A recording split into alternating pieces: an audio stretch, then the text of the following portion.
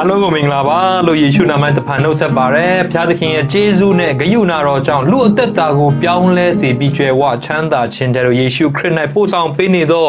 နှုတ်ကပတ်တော်သည်ဟူသောသမာကျမ်းစာကိုဒီကနေ့ဥပုသ္စာပြေသင်ခန်းစာများအဖြစ်လေ့လာတော့မှာဖြစ်ပါတယ်ဥပုသ္စာပြေသင်ခန်းစာကတော့ဂလာတိဩဝါဒစာထဲကဧဝံဂေလိတရားဆိုတဲ့ဒီစာအုပ်လေးရဲ့ခေါင်းစဉ်73ဖြစ်တဲ့ဧဝံဂေလိတရားနဲ့အတင်းတော်ဆိုတဲ့ခေါင်းစဉ်ကိုဒီကနေ့လေ့လာတော့မှာဖြစ်ပါတယ်။ online ပေါ်ကနေနှုတ်ကပတ်တော်ကိုနာခံပြီးတော့နှုတ်ကပတ်တော်ကိုလေ့လာနေကြတဲ့လေ့လာသူများယုံကြည်သူများနဲ့တင်းသူတင်းသားများအားလုံးကိုကျေးဇူးတင်တဲ့အကြောင်းနဲ့ဒီနှုတ်ကပတ်တော်ကိုဆက်လက်ဝင်ငါပြီးတော့ like ဖြစ်စေ share ပေးခြင်းဖြစ်စေ comment ပေးခြင်းအားဖြင့်တယောက်နဲ့တယောက်အချင်းချင်းဝန်ကိုထမ်းခြင်းနဲ့အတူတယောက်နဲ့တယောက်အားပေးကြပါစို့ဆုတောင်းခြင်းအပြင်ကျွန်တော်အတွက်တော်၎င်းအခြားနားထောင်သူများအတွက်တော်၎င်းတတိယကြပေးဖို့ရန်အတွက် ကျွန်တော်အနေနဲ့ယေရှုနာမ၌တောင်းပန်ရင်းနဲ့အားပေးခြင်းပါတယ်ရှေ့ဆက်မသွားခင်မှာနှုတ်ကပတ်တော်ကိုဖွင့်ပြပေးမဲ့တန်ရှင်းသောဝိညာဉ်တော်ကိုဆုတောင်းခြင်းအပြင်ဖိတ်ခေါ်ကြပါစို့မြင့်မြတ်ဆုံးလင်၍သာသမီတို့ကိုချစ်တော်မူသောဖရာယနေ့သာသမီတို့သည်ကိုရိုနိုကပတ်တရားတော်ကိုဥပုသ္စာပြေသင်ခန်းစာများအဖြစ်လေ့လာတော်မူဖြစ်ပါ၏ဒါသမီးတို့ရဲ့အပြစ်များကိုခွင့်လွှတ်၍ အပြစ်ကြောင့်နားမလည်နိုင်သောနှုတ်ကပတ်တရားများကိုဒီကနေ့ကိုရရှင်ခွင့်လွှတ်သောကြောင့်ဒါသမီးတို့ဒီနားလည်ရသောအခွင့်နဲ့အသက်တာနဲ့တကယ်ပဲလိုက်လျှောက်ရတဲ့အခွင့်ပေးသနာတော်မူပါတူနဲ့တူအချင်းချင်းတို့ဤဝန်တို့ကိုထမ်းကူခြင်းတော်၎င်းကောင်းသောအကျင့်တို့ကိုစိတ်တမကြပဲကျင့်ရမည်အကြောင်းယနေ့နှုတ်ကပတ်တော်အဖင်အရောက်စီတိုင်းကိုတူတီစကားပြောတော်မူပါအသင်းတော်နဲ့ ဧဝံဂေလိမီကဲတို့ဆက်ဆက်တည်ဖြစ်တည်ကြောင်းအသင်းတော်ထဲ၌တဦးနဲ့တဦးမီကဲတို့ချစ်ချစ်ခင်ခင်နေရမည်အကြောင်းတင်ကြတဲ့အခါမှာမိမိရဲ့အသက်တာကိုမိမိကိုကိုကိုဆင်ခြင်ပြီးတန်ရှင်းသောဝိညာဉ်တော်၏ဆုံးမပဲ့ပြင်မှုရှိသည့်အတိုင်းလက်ခံပြီးတော့ယုံကြည်နိုင်ဖို့ရန်နဲ့အသက်တာမှာတကယ်ပဲကျင့်သုံးနိုင်ဖို့ရန်အရောက်စီတိုင်းကိုနှုတ်ကပတ်တော်အဖြစ်တိုးထိစကားပြောပါမည်အကြောင်းကိုရောကိုမျက်မှောက်ပြုသောအခါသာသမီတို့၏ကံဉဏ်ဝရိယနဲ့ အစွမ်းတတိတို့ကိုအားကိုးခြင်းမဟုတ်ပဲသခင်ယေရှု၏နာမတော်မြတ်၌အလွန်ယုံကြည်စွာဖြင့်ဆုတောင်းဆက်ကပ်ကြပါရဖဖရာအာမင်ဥပု္ပ္ပစာပြေသင်ခန်းစာသင်ခန်းစာ73ဧဝံဂေလိတရားနဲ့သင်တော်ဆိုတဲ့ခေါင်းစဉ်ကိုကျွန်တော်တို့လေ့လာသွားမှာဖြစ်ပါတယ်စာအုပ်ရဲ့အာသင်ခန်းစာရဲ့ အလွတ်ကျမ်းချက်ကဘယ်မှာတွေ့ရလဲဆိုဂလာတိအခန်းကြီး6အငယ်30မှာတွေ့ရပါတယ်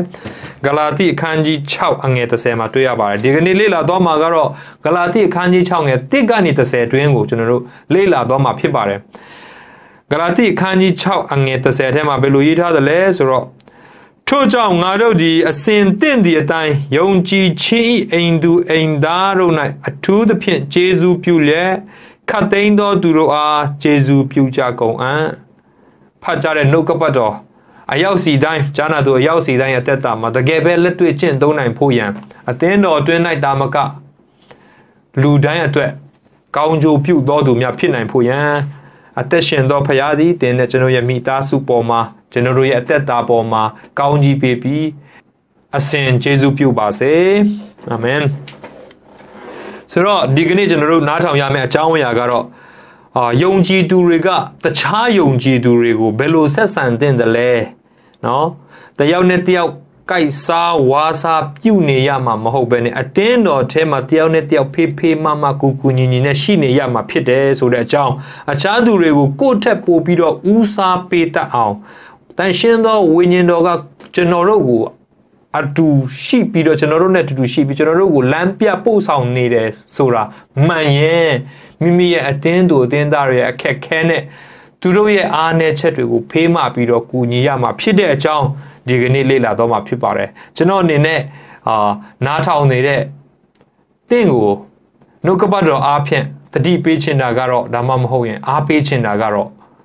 ဒီကနေ့ကြားနာရမယ်နှုတ်ကပတ်တော်ကသင်အသက်တာထဲမှာတကယ်ပဲသင်ဟာဖျားသခင်ရဲ့လူမှန်ရင်ဝိညာဉ်တော်စုကျေးဇူးကိုရရှိတော်သူမှန်လျင်တန်ရှင်းသောဝိညာဉ်တော်သင်သက်တာထဲမှာတကယ်ကိန်းအောင်တဲ့ပုဂ္ဂိုလ်သားသင်ဟာမှန်တယ်ဆိုရင်သင်နဲ့ပတ်ဝန်းကျင်မှာရှိနေတဲ့ဟိုခက်ခဲနေတဲ့လူအတင်းကိုညီဖြစ်မှာပဲတင့်အတင်းသူအတင်းသားတွေကိုအထူးကိုညီရမှာပဲပြီးတော့တင့်အနေနဲ့ဟိုမစုံလင်တဲ့လူတွေကိုကဲ့ရဲ့ပြစ်တင်မဲ့အစား နော်သူတို့ကိုကိုညီဖေးမရမှာပဲလို့ကျွန်တော်အနေနဲ့အဲ့ဒီစိတ်ကိုထားရင်းနဲ့ကျွန်တော်တို့ကပတ်တော်တင်ယူရမှာဖြစ်ပါတယ်တင့်စိတ်ထဲမှာအဲ့ဒါကို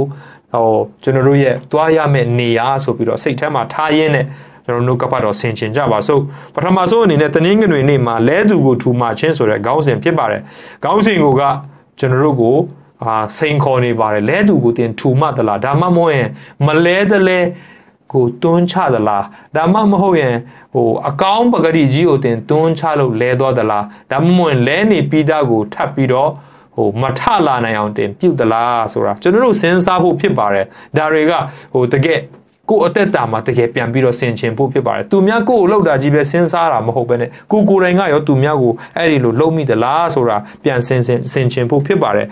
ကျွန်တော်တို့ဒီအကြောင်းအရာနဲ့ပတ်သက်ပြီးတော့ဂလာတိဩဝါဒစာခန်းကြီး6အငယ်1 အင်္ဂလိပ်မှာ A ပေါ့နော်အရှေ့ပိုင်းပေါ့နော်ဆိုတော့မြန်မာမှာကျတော့ရောထားတဲ့အတွက်ကြောင့်ကျွန်တော်အခန်းကြီးတစ်ခုလုံးကိုကျွန်တော်ဖတ်ပြချင်ပါတယ်ညီအကိုတို့လူသည်တတိလိ၍တဆုံတစ်ခုသောဒူးစရိုက်ကို ပြုတ်မိလျင်ဝိညာဉ်စုကျေးဇူးကိုခံရသောတင်တို့သည်အပြစ်သွေးဆောင်ခြင်းနှင့်ကိုယ်တိုင်လွတ်မြေကြောင်းကိုကိုတတိပြုလက်တိမ်မွေ့နူးညံ့သောသဘောနှင့် ထိုရုပ်သောသူကိုမဆ၍သူ၏နေရန်၌တည်မြဲတည်စေပြန်ကြလော့ဆိုပြီးတော့ရေးထားပါတယ်ဒီအကြောင်းအရာကျွန်တော်ဖတ်ပြီးတာနဲ့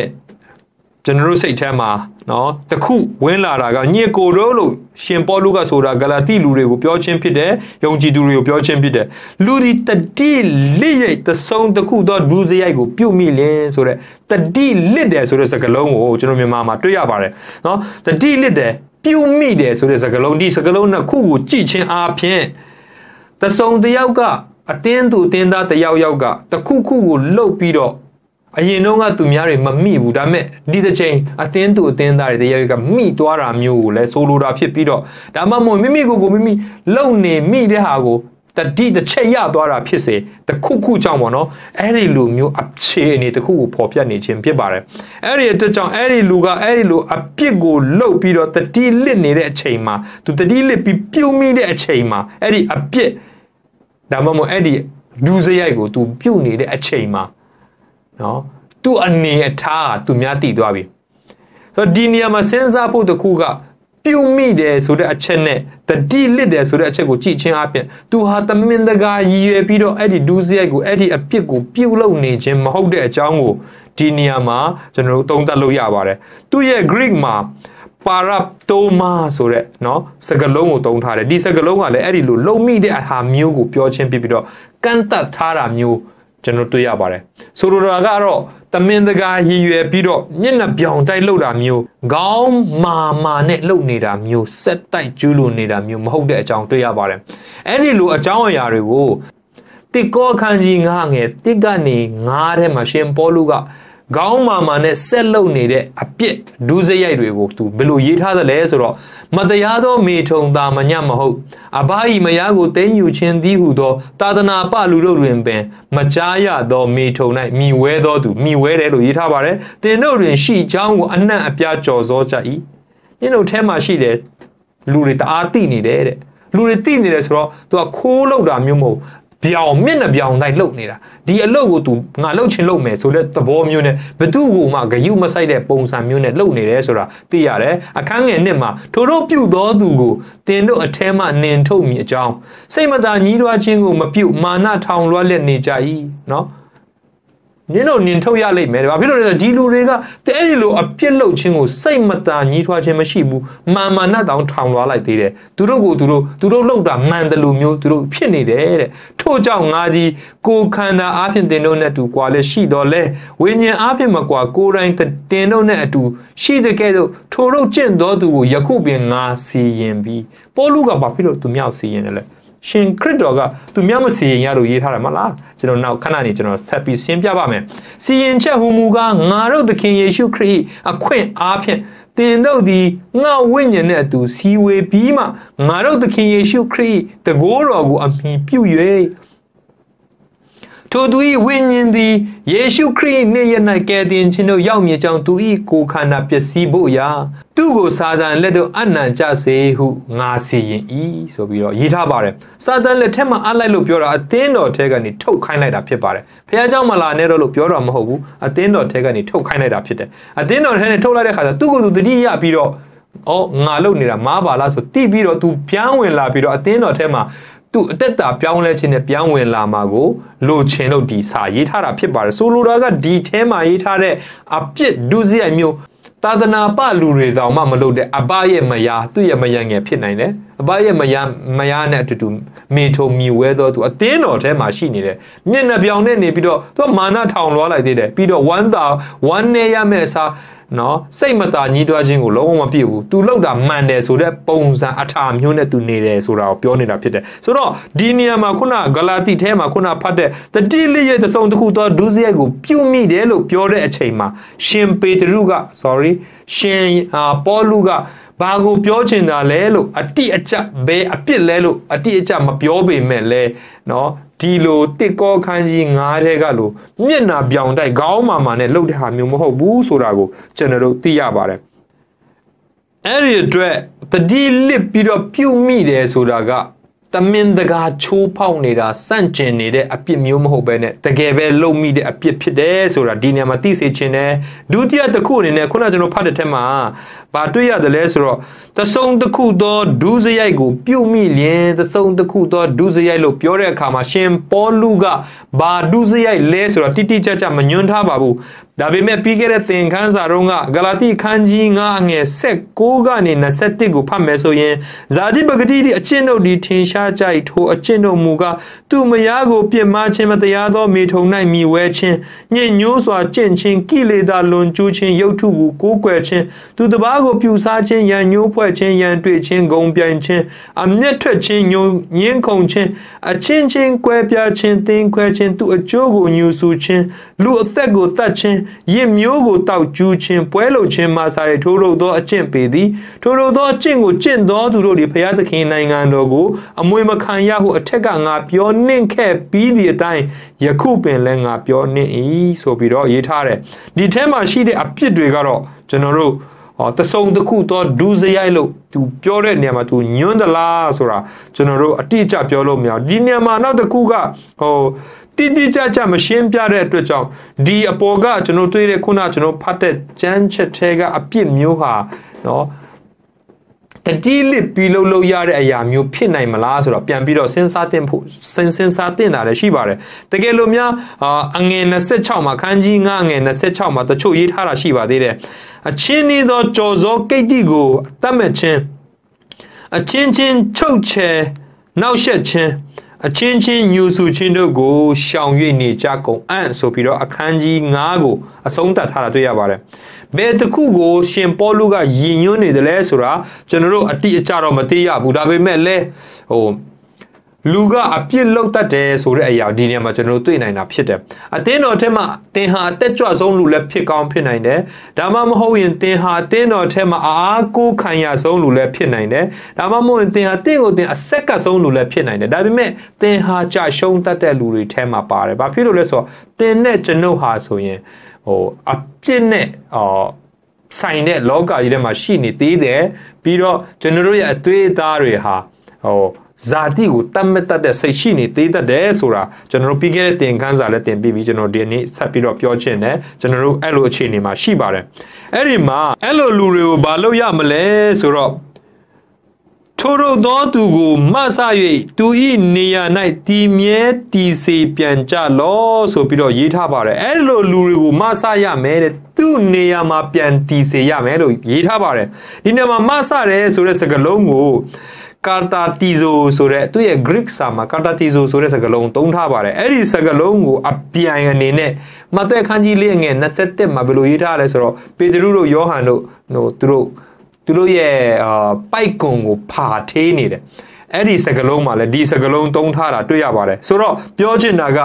ဖာရာမျိုးအကျိုးအပြက်တွေကိုစက်တာမျိုး ဒီလိုနေရာမှာဒီစကလုံးကိုသုံးထားတာတွေ့ရပါတယ်ဆိုတော့လူတယောက်ကခြေကျိုးနေတာကျွန်တော်တို့တွေ့ပြီဆိုရင်သူ့ခြေထောက်ကောင်းလာအောင်ကျွန်တော်တို့တွဲပြီးတော့ခေါ်သွားပြီးတော့သူ့ခြေထောက်ကိုပြန်ဆက်ဖို့အတွက်ကျွန်တော်တို့ကူညီရမှာဖြစ်တယ်ဒါပေမဲ့ခြေထောက်ကျိုးပြီးတော့ဒီမှာဟောနော်ဂုံဂုံဂုံဂုံနဲ့ဒါမှမဟုတ်သူကိုယ်တိုင်မထနိုင်တော့ကျွန်တော်တို့ထပ်ပြီးတော့တွန်းလဲစရာအကြောင်းမရှိဘူးနော်အဲ့ဒီလိုမလုပ်ရဘဲနဲ့သူ့ကို ထူမပြီးတော့သူ့ကိုလမ်းလျှောက်တတ်အောင်သူ့ရဲ့ခြေကျိုးနေတဲ့ဟာကိုပြန်ဆက်အောင်ကျွန်တော်တို့ကဒီ point မှာဒီဒီအကွက်မှာကျွန်တော်ကူညီရမှာဖြစ်တယ်ဒီစကလုံးကဒီအဲ့လိုအဲ့ဒါကိုဆိုလိုတာဖြစ်တယ်မဆာရမယ်သူ့နေရာမှာတည်မြဲတည်နေစေရမယ်လို့ပြောပါတယ်ဒီနေရာမှာရှင်ပေါလုကမပြောသူ့ရည်ရွယ်ချက်မဟုတ်တာတခုကတော့ဥပမာအသင်းတော်ထဲမှာလူတယောက်အဲ့လိုပြုတ်ကျတခုခုဖြစ်သွားလို့ရှိရင်သူ့ကိုသူ့ရဲ့ယာဒူးကိုပြန်ပေးပါဆိုတဲ့သဘောကို အတင်းတော်ထက်ကယာဒူးတခုခုယာဒူးတခုခုပေါ့နော်ဆိုအဲ့ဒီနေရာကိုပြန်ပေးရမယ်တီမြဲတီနေစေရမယ်လို့အဲ့ဒီသဘောကိုပြောတာမဟုတ်ဘဲနဲ့ဝိညာဉ်အပိုင်းကိုပြောနေတာဖြစ်တယ်လို့ပြောပြချင်တယ်အဲ့ဒီမှာသူ့ကိုအဓိကကျွန်တော်တို့ဘာပြုလုပ်ပေးရမလဲဆိုတော့သူ့ကိုနောင်တရအောင်သခင်ယေရှုစီမှာပြန်ပို့ပေးရမှာဖြစ်တယ်အဲသူ့ကိုနောင်တတရားစီကိုကျွန်တော်တို့ဥတီပေးပြီးတော့ပို့ပေးရမှာဖြစ်တယ်ဆိုတာကိုကျွန်တော်တို့အာဒီနေရာမှာ ပြောပြချင်ပါတယ်ဒီနေရာမှာမိခွန်းတစ်ခုရှိတာကျွန်တော်တို့အဲ့လိုသွားပြောတော့နော်သူမားတာကိုတွေ့ပြီးတော့ကျွန်တော်သွားပြောတော့သူလက်လက်မခံရင်ရောဘယ်လိုလုပ်မလဲဒါမှမဟုတ် तू ကနားမထောင်ခြင်းဘူးဆိုရင်ရောဘယ်လိုလုပ်မလဲဒါမှမဟုတ်ရင်သူ့အနေနဲ့တခုခုတင့်ကိုပြန်ပြီးတော့ပက်လာရင်ရောဘယ်လိုလုပ်မလဲအဲ့ဒါကျွန်တော်တို့စဉ်းစားရမှာဖြစ်တယ်ဒီရရစဉ်းစားတဲ့အခါမှာကျွန်တော်တို့က လူတွေကိုအဲ့လိုလဲပြီးဆိုတာတွေ့ရတာနဲ့မမြင်ချင်းရောင်ဆောင်ပြီးတော့ညီအကိုကိုကျွန်တော်တို့ဟာဒါငါသူများကိုတရားမစီရင်ခြင်းပါဘူးဆိုပြီးတော့ကျွန်တော်တို့ဒီတိုင်းပြစ်ထားတတ်ပါတယ်အဲ့ဒီအခါမှာဒီကျမ်းစာကအဲ့ဒီလိုမလုပ်ဖို့အတွက်ကျွန်တော်တို့ကိုပြောနေခြင်းဖြစ်တယ်။ညီအကိုကိုပြန်ပြီးတော့ကူညီရမယ်။အဲ့ဒီလူကိုပြန်ပြီးထူမပေးရမယ်။ဒါကခရိယန်ဖြစ်ပြီဆိုရင်ခရိယန်တယောက်ရဲ့တာဝန်ဖြစ်တယ်။ Okay ဒါဆိုရင်ကျွန်တော်တို့ဘယ်လိုနီလန်သုံးမလဲဆိုတာ ဟိုတိဖို့အရေးကြီးပါတယ်ရှင်မသက်ခရစ်ဝင်ခန်းကြီးဆက်ရှင်ငယ်ဆက်5ကနေဆက်ခွန်ထဲမှာထို့ကြောင့်တင်၏ညီအကိုဒီတင့်ကိုပြစ်မားလျင်သူစီတို့တွား၍နှစ်ယောက်တည်းချင်းသူဤအပြစ်ကိုဆုံးမလောတဲ့နော်နှစ်ယောက်တည်းသူ့စီမှာတွားပြီးတော့ဒီလိုဒီလိုဖြစ်တယ်ဆိုပြီးပြောပြပါလို့ပြောတာဖြစ်တယ်ဆုံးမပါဆိုတဲ့အခါမှာသူဒီတင်ဤစကားကိုနားထောင်ရင်ညီအကိုကိုရပြီတဲ့နင့်စကားကိုနားထောင်ရင်တော့ငါတို့ ဒါသူ့ဝိညာဉ်ကိုရတာကိုပြောခြင်းဖြစ်တယ်တော့မဟုတ်တင်းစကားကိုနားမထောင်ရင်လူနှစ်ဦးသုံးဦးတက်သေးခံ၍စကားရှိသမျှတို့ကိုတီစေချင်းကကိုနဲ့အတူလူတဦးနှစ်ဦးကိုခေါ်အောင်လို့တဲ့ကြတယောက်ထက်တော့လို့မရနှစ်ယောက်သုံးယောက်ထပ်ခေါ်မယ် ထိုသူတို့၏စကားကိုနားမထောင်ရင်အတင်းတော်အားကြားပြောလို့အတင်းတော်၏စကားကိုနားမထောင်ရင်တာသနာပလူကဲ့သို့၎င်းအခွန်ခံကဲ့သို့၎င်းထိုသူကိုမှတ်လို့ဆိုပြီးတော့သခင်ယေရှုပြောထားတဲ့စကားခုနရှင်ပေါလုပြောထားတဲ့တစ်ကောခန်းကြီး9အငယ်တစ်ကနေ9နဲ့အတူတူပဲဖြစ်တယ်ဆိုလိုတာကလူတယောက်ကိုပြုပြင်ပြောင်းလဲဖို့ချင်းကပ်ပြီးတော့ဟိုမပြောင်းလဲလာဘူးဆိုရင်တာသနာပအနေနဲ့ထားရမယ်ဆိုတဲ့အကွက်ကိုကျွန်တော်ပြောတာဖြစ်တယ်ဆိုလိုတာကကျွန်တော်တို့ဟိုအဲ့ဒီလိုအပြစ် ပြုမိတဲ့လူဆိုရင်တော့ကျွန်တော်သွားပြောတဲ့အချိန်မှာ तू ဟာအရှက်တရားနဲ့ရှက်ပြီးတော့ तू ဟာဟို तू လှုပ်တဲ့အမားအတွက် तू ဝန်ခံပြီးတော့ကြောက်ပြီးတော့နော်မာနထောင်လွှားခြင်းစိတ်မသာညှိထွားခြင်းမလုပ်တဲ့ဟာမျိုးအဲ့လိုမျိုးအခြေအနေမှာမရှိဘဲနဲ့စိတ်မသာညှိထွားခြင်းဟာငါပြစ်တယ်ငါလုပ်တဲ့အမားငါမားပြီးဆိုတာကိုသူ့ကိုယ်သူပြန်နောင်တရမှာဖြစ်တယ်အဲ့ဒီအခြေအနေမှာဟို ရောက်တဲ့လူတွေအများကြီးရှိတယ်အတကအခါအားလို့ဆိုကျွန်တော်တို့ကသူမြောက်မပြောချင်ဘူးဒီတိုင်းပဲထားလိုက်တယ်အဲ့လိုထားလိုက်ခြင်းအပြင်သူ့ကိုသူမတိပဲနဲ့သူလုံနေတဲ့အမားကိုသူဆက်ပြီးလုံနေတတ်တယ်အဲ့ဒါကြောင့်ယုံကြည်သူမှန်ရင်ဒီကနေ့တင့်တာဝန်ကတော့လဲသူကိုထူမှပေးပါလဲသူကိုထူမှပေးခြင်းဟာတရားစီရင်ခြင်းမဟုတ်ပဲနဲ့သူ့ကိုထူခြင်းတဲ့သူ့ရဲ့ဝိညာဉ်ကိုညီအကိုကိုရစေရချင်တဲ့စိတ်နဲ့ကျွန်တော်တို့ယေရှုရဲ့ယေရှုခရစ်ရဲ့စိတ်နဲ့ကျွန်တော်တို့သူ့ကို ကူညီပေးရမှာဖြစ်တယ်ဒါဟာဖရာသခင်ကကျွန်တော်တို့ကိုခိုင်းစေထားတာဖြစ်တယ်တရားစီရင်ခြင်းမို့အဲတရားစီရင်ခြင်းကျွန်တော်တို့ဆက်ပြီးတော့ဆက်သွားမယ်ဆိုတော့တနင်္လာနေ့မှာစုံစမ်းခြင်းကိုတတိထားပါဆိုတဲ့ခေါင်းစဉ်ခွဲဖြစ်ပါတယ်ဂလာတိခန်းကြီး6အငယ်1ဒုတိယပိုင်းကိုကျွန်တော်ဖတ်မယ်ဆိုရင်ကျွန်တော်အကုန်လုံးပြန်ဖတ်ပေးပါမယ်ညီကိုတို့လူသည်တတိလိ၍တစုံတစ်ခုသောဒုစရိုက်ကိုပြုမြင့်လျင်ဝိညာဉ်စုကျေးဇူးကိုခံရသောတင်တို့သည်အပြစ်သွေးဆောင်ခြင်းနဲ့ကိုယ်တိုင်လွတ်မြေအကြောင်း ကိုကိုတတိပြုတ်လက်တိမ်မွေ့နူးညံ့သောသဘောနဲ့ထိုရုပ်သောသူကိုမဆာရိသူ၏နေရ၌တည်မြဲတည်စေပြန်ကြလော့ဆိုပြီးတော့ဒုတိယပိုင်းအတွက်ကျွန်တော်အကုန်လုံးပြန်ဖတ်ခြင်းဖြစ်ပါတယ်ဒီညမှာကျွန်တော်တို့အဲ့ဒီလူတွေကိုအဲ့လိုလဲနေတဲ့လူတွေကိုပြန်ထူမဖို့အတွက်စူးစမ်းမဲ့ကျွန်တော်တို့ဟာသူများကိုမဝေဖန်ခင်မှာမိမိကိုယ်ကိုမိမိစစ်ကြောဖို့လိုအပ်တာဖြစ်ပါတယ်ဆိုတော့အဲ့ဒီမှာ ကျွန်တော်ဒီဥပု္ပ္ပစာပြပေးထားတဲ့ပုံပြင်လေးတစ်ခုကျွန်တော်ပြောပြချင်ပါတယ်ဘယ်မှာတွေ့ရလဲဆိုတော့ဓမ္မရာဇဝင်ဒုတိယဆောင်ခန်းကြီး7အငယ်9ကနေခွန်ထဲမှာအတူပြောရမယ်ဆိုရင်ဒါဝိမင်းကြီးကဥရိယရဲ့ဇနီးတိမ်ပိုက်လိုက်တယ်ပြီးတော့ဥရိယကိုဝင်ရသွားတဲ့အခါမှာဥရိယကိုတေအောင်ရှေ့တန်းပို့ပြီးတော့သူ့မိန်းမသူတိမ်ပိုက်လိုက်တယ်ဒီအကြောင်းကိုဘယ်သူမှမသိဘူးလို့သူထင်ခဲ့တယ် ခိုးပြီးတော့လှုပ်ခဲ့တာပေါ့နော်ဒါပေမဲ့ဘုရားသခင်ကဒါကိုသိတော့သူဟာဘယင်ပဲဖြစ်ဖြစ်သူ့နှလုံးပြည့်ရင်ဒါဝိပဲဖြစ်ဖြစ်သူငငယ်တုန်းကဟိုဂေါလျက်ကိုပဲနိုင်ခဲ့နိုင်ခဲ့ဒါရီအကုန်လုံးကိုဘုရားသခင်ကဒါရီကြည့်ပြီးတော့ဒါသူ့ကိုနားလေလိုက်ပါမယ်ဆိုတဲ့ဟာမျိုးဖះမှာမရှိဘဲနဲ့သူလှုပ်တဲ့အမားကိုအမားအတိုင်းဖះတရားစီရင်တော့မှာဖြစ်တယ်အဲဒါကြောင့် prophet Nathan နော်သူ့ကိုဆေလွတ်ပြီးတော့ပုံပြင်တပုတ်ပြောခိုင်းတယ်ပြောခိုင်းတော့အဲ့ဒီပုံပြင်ထဲမှာနော် ဥပမာပုံပြင်လေးဖြစ်တယ်လူတယောက်ကသူ့မှာတိုးလေးတကောင်ပဲရှိတာသူ့တထေးကအဲ့ဒီတိုးကိုယူပြီးတော့နော်သူ့ရဲ့တိုးလေးကိုသူ့တထေးရဲ့ဧည့်သည်လာတဲ့ချိန်မှာတတ်စားပြီးတော့သူ့ဧည့်သည်ကိုဧည့်ခံတယ်လို့ပြောလိုက်တဲ့အခါမှာဓမ္မရာဇဝင်ဒုတိယဆောင်အခန်းကြီး7နှစ်အငယ်ခွန်မှာအငယ်အခန်းကြီး7နှစ်အငယ်9မှာဒါဝိဒ်ကြီးထိုတထေးကိုပြင်းစွာမြက်ထွက်၍ဒါဝရဖျားတက်ရှင်တော်မူသည့်အတိုင်းထိုတို့ပြုသောသူကြီးအမှန်သေးရမည်ဝေါ သူပြောတဲ့စကားဒီလိုလုပ်တဲ့လူတကယ်တည်တဲ့တယ်လို့ပြောလိုက်တာဖြစ်တယ်အမှန်သေးရမယ်ဒါဘယင်စကားပဲဒါတကယ်ရှိရင်တကယ်တတ်ရမယ်လို့ဒါတည်ရမယ်လို့သူပြောလိုက်ခြင်းဖြစ်တယ်ဆိုတော့ဆက်ပြီးတော့ကြည့်မယ်ဆိုရင်ဂယုဏစိတ်မရှိပဲထိုအမှုကိုပြုသောကြောင့်ထိုသိုးမကလေးအတွက်လေးစပြန်ပေးရမည်ဟုမိန့်တော်မူ၏ဟောဘယင်ကြီးကလေးစနော်ဇေခဲနောင်သားရတဲ့ချိန်မှာမရှိစင်ရဲသားတွေစီကျွန်တော်ယူမြင့်လေးစပြန်ရော်မယ်ဒါကဟို ဓမ္မဟောင်းကျမ်းထဲမှာသူတို့ရဲ့စနစ်ဖြစ်တယ်သူယူမြင့်ရင်ဒါမှမဟုတ်ခိုးမြင့်ရင်လေးစပြန်ရော်လေးစပြန်ရော်ရမယ်လို့သူကတရားစီရင်လိုက်တယ်လေးစပြန်ရော်ရမယ်အဲ့ဒီလူအမှန်တေရမယ်လို့တရားစီရင်လိုက်တယ်โอเคသူတရားစီရင်တဲ့အချိန်မှာသူမဝေဖန်ခင်မှာဒီအကြောင်းအရာကငါလဲဒီလိုဖြစ်နေပါလားဆိုတဲ့စိတ်ကို तू မတွေးမိပဲနဲ့ तू အဲ့လိုဆုံးဖြတ်လိုက်တဲ့အတွက်ကြောင့် prophet Nathan ကလည်းထိုသူကအခြားသူမဟုတ်ကိုတော်ပင်ဖြစ်၏ ကဲဒီစကားကိုပြောဖို့ prophet ဘယ်လောက်ထိတွန့်ဆုတ်တွန့်ဆုတ်ဖြစ်မလဲဒီစကားကကျွန်တော်ပြန်ကြားတဲ့ချိန်မှာ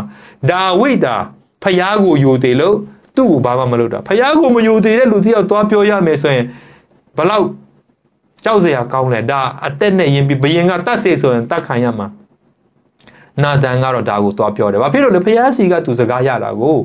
ဒီကနေ့ကျွန်တော်တို့အာလဲသူကိုထူမှပေးဖို့ပြောတဲ့အခါမှာဖျားစီကလာတာဖြစ်တယ်ကျွန်တော်ပတ်ဝန်းကျင်မှာလဲနေတဲ့လူတွေအများကြီးရှိတယ်ဒါပေမဲ့ကျွန်တော်သွားပြောရင်သူတို့နဲ့အစင်မပြေမျက်နာပူစရာဖြစ်တယ်အဲဒါကြောင့်ကျွန်တော်တို့မထူမှချင်ဘူးလဲတဲ့အတိုင်းရှိပါစေ तू မသိတာမှမဟုတ်တာလို့ကျွန်တော်တို့စိတ်ထဲမှာထင်မိတတ်တယ်ဒါပေမဲ့ကျွန်တော်တခွန်းတခွန်းနဲ့ပြောပြီးတော့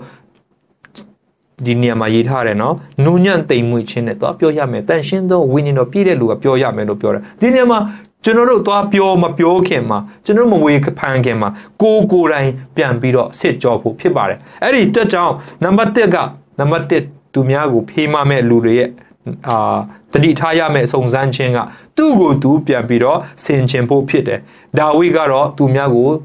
တေတံပေးလိုက်တယ်လေးစားပြန်ရောမယ်ပြောလိုက်တယ်တကယ်တော့သူကိုယ်တိုင်ကအဲ့ဒီပြင်းမှုကျူးလွန်တဲ့လူဖြစ်ခဲ့တယ် အဲဒါကြောင့်ကျွန်တော်တို့ရဲ့အသက်တာမှာဒီလိုမဖြစ်ဖို့အရေးကြီးတာဖြစ်တယ်အဲ့လိုမျိုးကျွန်တော်တို့အာကျွန်တော်တို့စီရင်တော်သူကကျွန်တော်တို့ကဲတော့ပဲအပြစ်ရှိနေတယ်သူတို့ကဲတော့ပဲကျွန်တော်တို့အပြစ်ရှိနေတဲ့လူလားဆိုတာတတိပြုဖို့အရန်ရေးကြီးတာဖြစ်တယ်ဆိုတော့ခုနကျမ်းထဲမှာเนาะဘယ်လိုရေးထားတယ်ဆိုကိုကိုတတိပြုလက်တိမ်မွေ့နူးညံ့သောသဘောနဲ့လို့ပြောကိုကိုကိုတတိပြုရမယ်လို့ပြောတာဖြစ်ပါတယ်ဆိုတော့အဲ့ဒီတတိပြုတ်ရမယ်လို့ပြောတဲ့နေရာမှာဘာကိုတတိပြုတ်ရမလဲဆိုတော့ တခုခုကိုရည်ညွှန်းပြီးရှင်ပေါလုကတိတိကျကျမရေးထားပေမဲ့လေဟို generally အနေနဲ့အားလုံးရေဘူးရတတိပြုတ်ကြပါလို့ပြောနေတာမဟုတ်ဘဲနဲ့ကိုကိုကို individually တယောက်ချင်းစီကိုတတိပေးနေခြင်းဖြစ်တယ်တစုံတစ်ခုကိုကျွန်တော်တို့ဝေဖန်တော့မယ်ဒါမှမဟုတ်ရင်ပြုတ်ပြင်ပေးတော့မယ်ဆိုရင်ကိုကိုကိုပြန်ပြီးတော့ကောင်းကောင်းမွန်မွန်ဆင်ခြင်ဖို့ဖြစ်ပါတယ်အခါအားလျော်စွာအများအားဖြင့်အပြစ်တကာအပြစ်ထဲမှာအဝေဖန်ခံရဆုံးကတော့သူတပားကိုစီရင်ခြင်း အဲ့ဒီအပြစ်နဲ့ပတ်သက်ပြီးလူတွေကအယံဝေဖန်တတ်ပါတယ်လူတွေကငါ့ကိုဒီလိုပြောလိုက်သေးတယ်မင်းကသူမြောက်စီရင်ရအောင်မင်းဘာမို့လို့လဲစသဖြင့်ဒီစကားမျိုးကျွန်တော်အခါအားလျော်စွာကြားတတ်ပါတယ်ဒါဆိုရင်ကျွန်တော်မေးချင်တဲ့မိခွန်းတစ်ခုကလူတယောက်ကကိုယ့်ကိုစီရင်လို့ကိုကနင်းကဘာဖြစ်လို့စီရင်ရတယ်လဲဆိုကိုပြန်ပြောပြီးတော့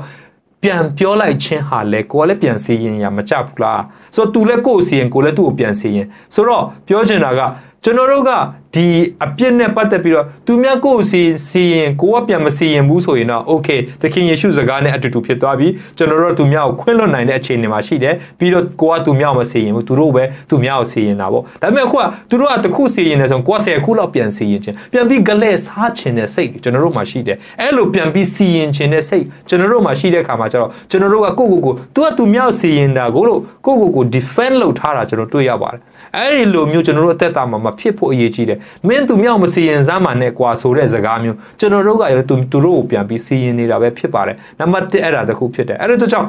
အတိတ်ကကျွန်တော်တို့ကအဲ့ဒီအလားတူအမားမျိုးမားဘူးသလားဆိုတာခုနဒါဝိကတတိမထားမျိုးသူကအလားတူအမားမျိုးမားမားဘူးတယ်နောက်တစ်ခုကကျတော့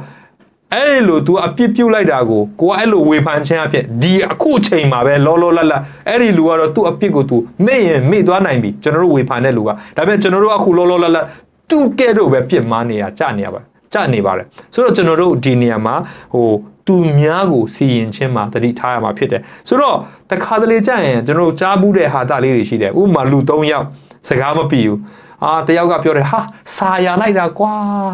နော်တစ်ပင်တွေကြည့်နော်ယာတီးသူတွေကြည့်ပြီးစာရလိုက်တာကွာဆိုတော့တယောက်ကရီတာပေါ့သူစကားပြောတာဖီလဲမဖီဘူးဆိုတော့ तू လဲ အတူတူပဲဖြစ်တယ်အဲ့ဒါကြောင့်နောက်တစ်ယောက်ကမနေတယ်နှစ်ယောက်စလုံးအတူတူပဲလို့ပြောလိုက်တယ်တဲ့ဆိုတော့စဉ်းစားကြည့်၃ယောက်စလုံးဟာစကားဝဲနေတာတွေ့ရပါတယ်ဆိုလို့ကျွန်တော်တို့တခါအခါလို့ဆိုတယောက်နဲ့တယောက်ဝေဖန်တဲ့အချိန်မှာအကုန်လုံးကအတူတူအနူနူတွေဖြစ်နေတတ်တယ်ဆိုတာကိုကျွန်တော်တို့တတိထားမိဖို့လိုအပ်ပါတယ်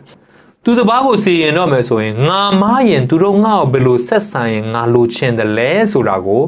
စဉ်းစားဆင်ခြင်ရင်းနဲ့သူများမားတဲ့လူကိုကျွန်တော်တို့ပြုတ်ပြင်းတဲ့နေရာမှာ ကိုကိုကိုအဲ့ဒီအဲ့ဒီမှာစုံစမ်းခြင်းရှိလာတယ်ဆိုတာတတိထားဖို့ ਨੇ သူတို့ကိုပြုတ်ပြင်ပြောင်းလဲပေးတဲ့နေရာမှာသူတို့ကိုထူမပေးတဲ့နေရာမှာတတိထားပြီးတော့ကိုကိုဆက်ဆံစေခြင်းတဲ့ပုံစံမျိုးနဲ့ပြန်ပြီးတော့ဆက်ဆံရမှာဖြစ်ပါတယ်အဲ့ဒါကြောင့်ခုနကျွန်တော်ပြောထားပြီးတိုင်းတိုင်းပဲတင်တဲ့ကျွန်ုပ်ဟာအသွေးအသားနဲ့တိဆောက်ထားတဲ့လူတွေဖြစ်တယ်အဲ့ဒီလူမားတယ်လို့တင်တဲ့ကျွန်ုပ်ဟာလည်းအချိန်မရွေးမားနိုင်တယ်ဆိုတာเนาะအခြေအနေပေးရင်လူတွေဟာအပြစ်ဆိုတဲ့အရာကိုเนาะ ကောင်းကောင်းမွန်မွန်လှုပ်ချင်တဲ့လူတွေကြီးပဲဖြစ်တတ်ပါတယ်เนาะအခြေအနေမပေးလို့အပြစ်မလုပ်တဲ့လူတွေအများကြီးရှိပါတယ်အဲ့ဒီအတွက်အပြစ်အမျိုးစုံကိုအခြေအနေအရကျွန်တော်တို့မကျိုးလွန်ပဲနေတတ်တယ်အပြစ်အမျိုးစုံအခြေအနေပေးရင်ကျွန်တော်တို့ကျိုးလွန်နေတတ်တဲ့အတွက်ကြောင့်သူများကိုဝေဖန်ဖို့အတွက်ကျွန်တော်တို့စိတ်မလောဖို့အရေးကြီးပါလိမ့်မယ်ဒါဆိုရင်သူများမဝေဖန်ရတော့ဘူးလားဒါမှမဟုတ်ရင်ဟောသူတို့ကိုသူတို့အကြောင်းမပြောလို့မရတော့ဘူးလားဆိုတော့ သူတို့အကြောင်းကိုပြောသူတို့အကြောင်းကိုဝေဖန်တယ်ဆိုတဲ့စကားလုံးကိုကျွန်တော်အနေနဲ့ဝေဖန်တယ်ဆိုတဲ့စကားလုံးထက်တာ၍ကောင်းတဲ့စကားကျွန်တော်တလုံးပြုပြင်ပြီးပြောချင်ပါတယ်အဲ့ဒါကတော့ပြုပြင်ခြင်းဆိုပြီးဆိုကျွန်တော်ပြောချင်တယ်သူများကိုဝေဖန်တာထက်ဆိုင်သူတပားကိုပြုပြင်ဖို့အတွက်သခင်ယေရှုကိုကြည်ပြီးတော့သူ့ကိုသခင်ယေရှုစီမှာပို့ဖို့အတွက်ပြုပြင်ဖို့အတွက်ဝေဖန်တာထက်ပြုပြင်ပေးဖို့အတွက်ကျွန်တော်တို့ကကူညီပေးရမှာဖြစ်တယ်ဆိုတော့ ဟောပြုတ်ပြင်ခြင်းပြုတ်ပြင်ပေးခြင်းပြုတ်ပြင်ပေးခြင်းကတရားစီရင်ခြင်းလားဆိုတော့တရားစီရင်ခြင်းဆိုတဲ့စကားလုံးကိုကျွန်တော်တို့နည်းနည်းကြည့်မယ်ဆိုရင်ဘုရားသခင်ကဒါဝိမင်းကြီးစီကို prophet နာသန်ကိုဆေလွတ်လိုက်တယ်သူဟာသွားပြီးတရားစီရင်ရတဲ့သဘောပဲဖြစ်ပါတယ်နင်းနဝေမြုပ်ကို prophet ယောနာကိုဆေလွတ်ခြင်းခံရပါတယ်ပြီးတော့ယောဟန်နဲ့ချင်းစရာယောဟန်ကရှင်ဘရင်ဟေရုကို ဒီလိုမလုပ်ရဆိုပြီးတော့သွားပြီးတော့သွန်သင်ပါတယ်နော်ပြုတ်ပြင်ပေးပါတယ်ဒါလည်းတနည်းအားဖြင့်တရားစီရင်ပေးနေခြင်းဖြစ်ပါတယ်အေလိယလည်းရှင်ဘရင်နော်ရှင်ဘရင်စီဣသီလရှင်ဘရင်စီတွားပြီးတော့သူလှုပ်တာတွေမားတဲ့အကြောင်းပြောပါတယ်ဆိုတော့တရားစီရင်ခြင်းနဲ့ပြုတ်ပြင်ခြင်းဟာတနည်းအားဖြင့်အယံနီးစပ်တဲ့အရာဖြစ်တယ်သူတို့မပြုတ်ပြင်ဘူးဆိုရင်သူတို့ပျက်စီးသွားလိမ့်မယ်ဆိုတော့ဒါကတရားစီရင်ခြင်းတစ်မျိုးပဲဖြစ်ပါတယ် ရှင်မာသဲခရစ်ဝင်ခန်းကြီးခွန်အငယ်1ကနေ9လူတွေကအခန်းကြီးခွန်ငယ်1ကိုအယံကြိုက်တယ်နော်ဘယ်လိုရေးထားဆိုတင်တို့ဒီစစ်ကြောဆုံးဖြတ်ခြင်းနဲ့ကင်းလွတ်မြေကြောင်းသူတပားဤအမှု၌စစ်ကြောဆုံးဖြတ်ခြင်းကိုမပြုတ်ကြနဲ့ဆိုတဲ့စကားအဲ့ဒီခရစ်တော်ရဲ့အစာကိုဒီလောက် quotation ယူပြီးတော့ လူတွေကိုဘယ်သူမှမစစ်မစစ်ကြောပါနဲ့လို့တွန်တင်တတ်ပါတယ်။ဒါပေမဲ့ဒီချမ်းချက်ကိုလူတွေကတေးတေးချာချာမဖတ်တဲ့ခါကျတော့ဒီချမ်းချက်ဆိုလိုတာကိုလူတွေနားမလည်အောင်ဖြစ်နေတယ်။အခန်းကြီး1တခုထဲအခန်းငယ်1တခုထဲမဖတ်ဘဲနဲ့အခန်းငယ်1ကနေ9အထိဖတ်မယ်ဆိုရင်ခရစ်တော်ဘာပြောချင်တယ်လဲဆိုတာတေးတေးချာချာသိနိုင်ပါတယ်။ဆက်ပြီးတော့ဖတ်မယ်ဆိုရင်တင်းတို့တွေအကျဉ်တရားအတိုင်းသူတပားကိုစီရင်ကြ၏။ထိုတရားအတိုင်းစီရင်ခြင်းကိုခံရကြမည်။အကျဉ်ချိန် တင်းပမာဏနဲ့သူတပားအားပေး၏ထိုပမာဏအတိုင်းကိုခံရကြမည်ကိုမျက်စိ၌ရှိသောတခြင်းကိုမအောင်မိပဲညစ်ကိုမျက်စိ၌ရှိသောညောင်ငယ်ကိုအဘဲကြောင့်ကြည့်ရှုသည်နီကိုမျက်စိ၌တခြင်းရှေ့လင်ပင်ညီကိုအားတင်၏မျက်စိ၌ရှိသောညောင်ငယ်ကိုထုတ်ပရစေဟုအဘဲတို့ဆိုသည်နီဒီတိဆိုရင်လဲသူမြောက်မစီရင်ရဆိုတဲ့အဓိပ္ပာယ်ရှိပါသေးတယ်ဒါပေမဲ့အငယ်ငါးမှာလှည့်ဝက်တော်သူတဲ့နော်သူပြောနေတဲ့လူတွေဖာရိရှဲတွေဖြစ်နိုင်ပါတယ် ကိုမျက်စိနဲ့ရှိသောတခြင်းကိုရှေးဥစွာထုတ်ပစ်လော့မျက်စိထဲကအရင်ဆုံးထုတ်ပစ်ပါတဲ့နော်တခြင်းဆိုတာတော့နော်တစ်လုံးကြီးလို့ပြောတာဖြစ်တယ်သူများမျက်စိထဲမှာနော်အမိုက်ငယ်ငယ်လေးရှိတာကိုမျက်စိထဲမှာကျတော့တစ်လုံးကြီးဆိုတော့ခရစ်တော်ရဲ့စကားတရားဟောတဲ့အချိန်မှာသူ့ရဲ့အတိတ်တရားဝုတ်တိအလင်ငယ်ကိုသုံးခြင်းဖြစ်ပါတယ်နောက်မှညက်ကိုမျက်စိနဲ့ရှိသောညောင်ငယ်ကိုထုတ်ပစ်ခြင်းကရှင်းလင်းစွာမြင်လိမ့်မည် မထုတ်ပြစ်နဲ့လို့တားမြစ်နေတာမဟုတ်ဘူးဆိုတာဒီနေရာမှာကျွန်တော်ထပ်ပြီးပြောချင်ပါတယ်ညစ်ကိုကိုပြုတ်ပြင်ဖို့အတွက်ဘုရားသခင်ခွင့်ပေးတာဒါပေမဲ့မပြုတ်ပြင်ခင်မှာအလားတူအပြစ်မျိုးတဲ့မှာရှိမရှိဆိုကိုကိုပြန်ဆန်းစစ်ဖို့ဘုရားသခင်ပြောနေတာဖြစ်တယ်။မင်းမျက်စိမှာအဲ့ဒီထက်ကြီးတဲ့အပြစ်ရှိပြီးတော့ခုနဒါဝိကသူ့မှာသူများမိန်းမကိုလည်းယူသေးတယ်ပြီးတော့သူယောက်ျားကိုလည်းတတ်သေးတယ်ဒီလိုအပြစ်ရှိပြီးတော့ဟိုမှာတိုးကလေးပြောတဲ့ခါမှာတတ်စေနော် လေးစယော်စီဆိုတဲ့စကားသူပြောတဲ့ခါကျသူမျက်စိထဲကတခြင်းကိုသူမမြင်မဲ့သူမျက်စိထဲကအညောင်ငယ်ကိုထုတ်ပေးနေခြင်းဖြစ်တယ်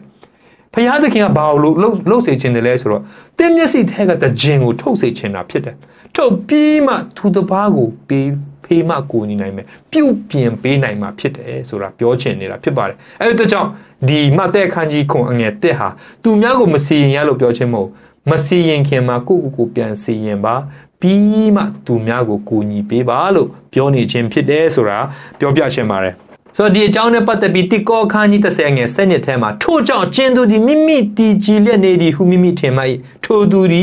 မလဲခြင်းငါတတိပြုစေကိုကိုကိုတည်ကြည်တယ်လို့အဲ့ဒီနေရာမှာယုံကြည်တယ်ဆိုရင်မလဲမိဖို့အတွက်ကျွန်တော်တတိထားရမှာဖြစ်တဲ့အကြောင်းဒီနေရာမှာဖော်ပြခြင်းဖြစ်ပါတယ်နံပါတ်အာဆက်သွားမယ်ဆိုရင်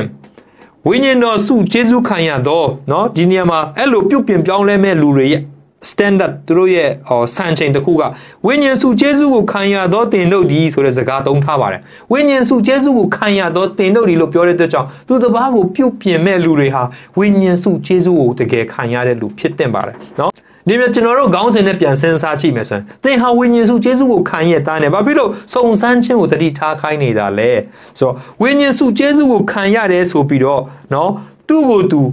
မြောက်ကြွမြောက်ကြွဖြစ်လာတတ်တယ်ဆိုတဲ့ဟာကိုလည်းနောက်တစ်ဖန်ပြန်ပြီးသိရတာဖြစ်တယ်။တနည်းအားဖြင့်ပြောမယ်ဆိုလူတယောက်ယောက်ကိုကိုကဖေးမှပြီးတော့သူ့ကိုပြုတ်ပြင်ပေးဖို့ကိုပြောလိုက်တဲ့အချိန်မှာစိတ်ထဲမှာမတိမတာဖြစ်စေတိတိတာတာဖြစ်စေနင့်ထက်ငါကဝိညာဉ်ရေးရမှာပို့ပြီးတော့ strong ဖြစ်တယ်ဆိုတဲ့စိတ်က နော်ပေါက်ဖွာလာတာဖြစ်တယ်အဲ့ဒီပေါက်ဖွာတဲ့အရာကဘာကိုဖြစ်စေတယ်လဲဆိုတော့စုံစမ်းခြင်းဖြစ်စေပြီးတော့ကြာရှုံးခြင်းဖြစ်စေတယ်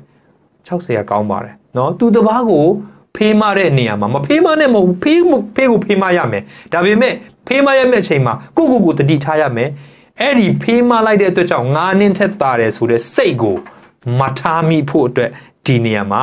မင်းလည်းအပြစ်သားငါလည်းအပြစ်သားပဲတယောက်နဲ့တယောက်ဖေးမကူပြီးတော့ကိုညီကြတာပါနော်ဆိုတဲ့အတိတရားကိုစကားပါဇက်ကမပြောသည့်တိုင်အောင်စိတ်ထဲမှာကျွန်တော်စိတ်ထဲမှာရှိမယ်ဆိုရင်ကျွန်တော်ဟေးဟေးဟေးဟေးဟေးနင်တို့ဆိုတဲ့စိတ်မျိုးမရှိတော့ဘဲနဲ့သူတို့ကိုဖေးမကူညီခြင်းနဲ့စိတ်ပို့ပြီးရှိလာမှာဖြစ်တယ်အလားတူအပြစ်မျိုးอ่ะ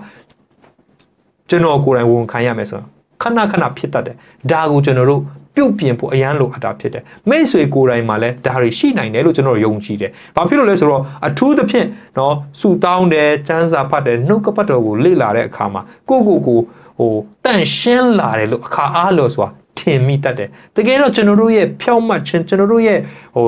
နှုတ်ကပတ်တော်စာငါချင်းဆိုကျွန်တော်တို့လုံယူနေတာမဟုတ်ဘဲနဲ့ဖခင်ရဲ့ဂျေဇုတော်တက်တက်ဖြစ်တယ်ဖခင်ရဲ့နှုတ်ကပတ်တော်ကိုစာငတ်လာအောင်ဖခင်ကပဲကျွန်တော်တို့ကိုဂျေဇုပြုတ်နေတာဖြစ်တယ်အဲ့ဒီဂျေဇုကိုကျွန်တော်လက်ခံတတ်တဲ့ဟာကိုကျွန်တော်တို့ဝါကြွားဖို့မဟုတ်ဘဲနဲ့ပို့ပြီးပို့ပြီးနှိမ်ချလာဖို့ဖြစ်တယ်ဖခင်သခင်စီမှာတာ၍ချင်းကပ်တော်သူဟာဖခင်ကိုမြင်လေလေသူ့ရဲ့ညစ်ညူးကြောင်းကိုသူသိလေလေဖြစ်တယ်ကျွန်တော်တို့ကဖခင်ကိုချင်းကပ်တဲ့အခါမှာကျွန်တော်ကိုကျွန်တော်တို့ ကြည်နေတယ်ဆိုရင်ဖះကိုမကြည့်ဘူးဆိုရင်တော့ကိုယ့်ကိုယ်တန့်ရှင်းလာတယ်လို့ထင်မိလာလိမ့်မယ်အဲ့ဒါက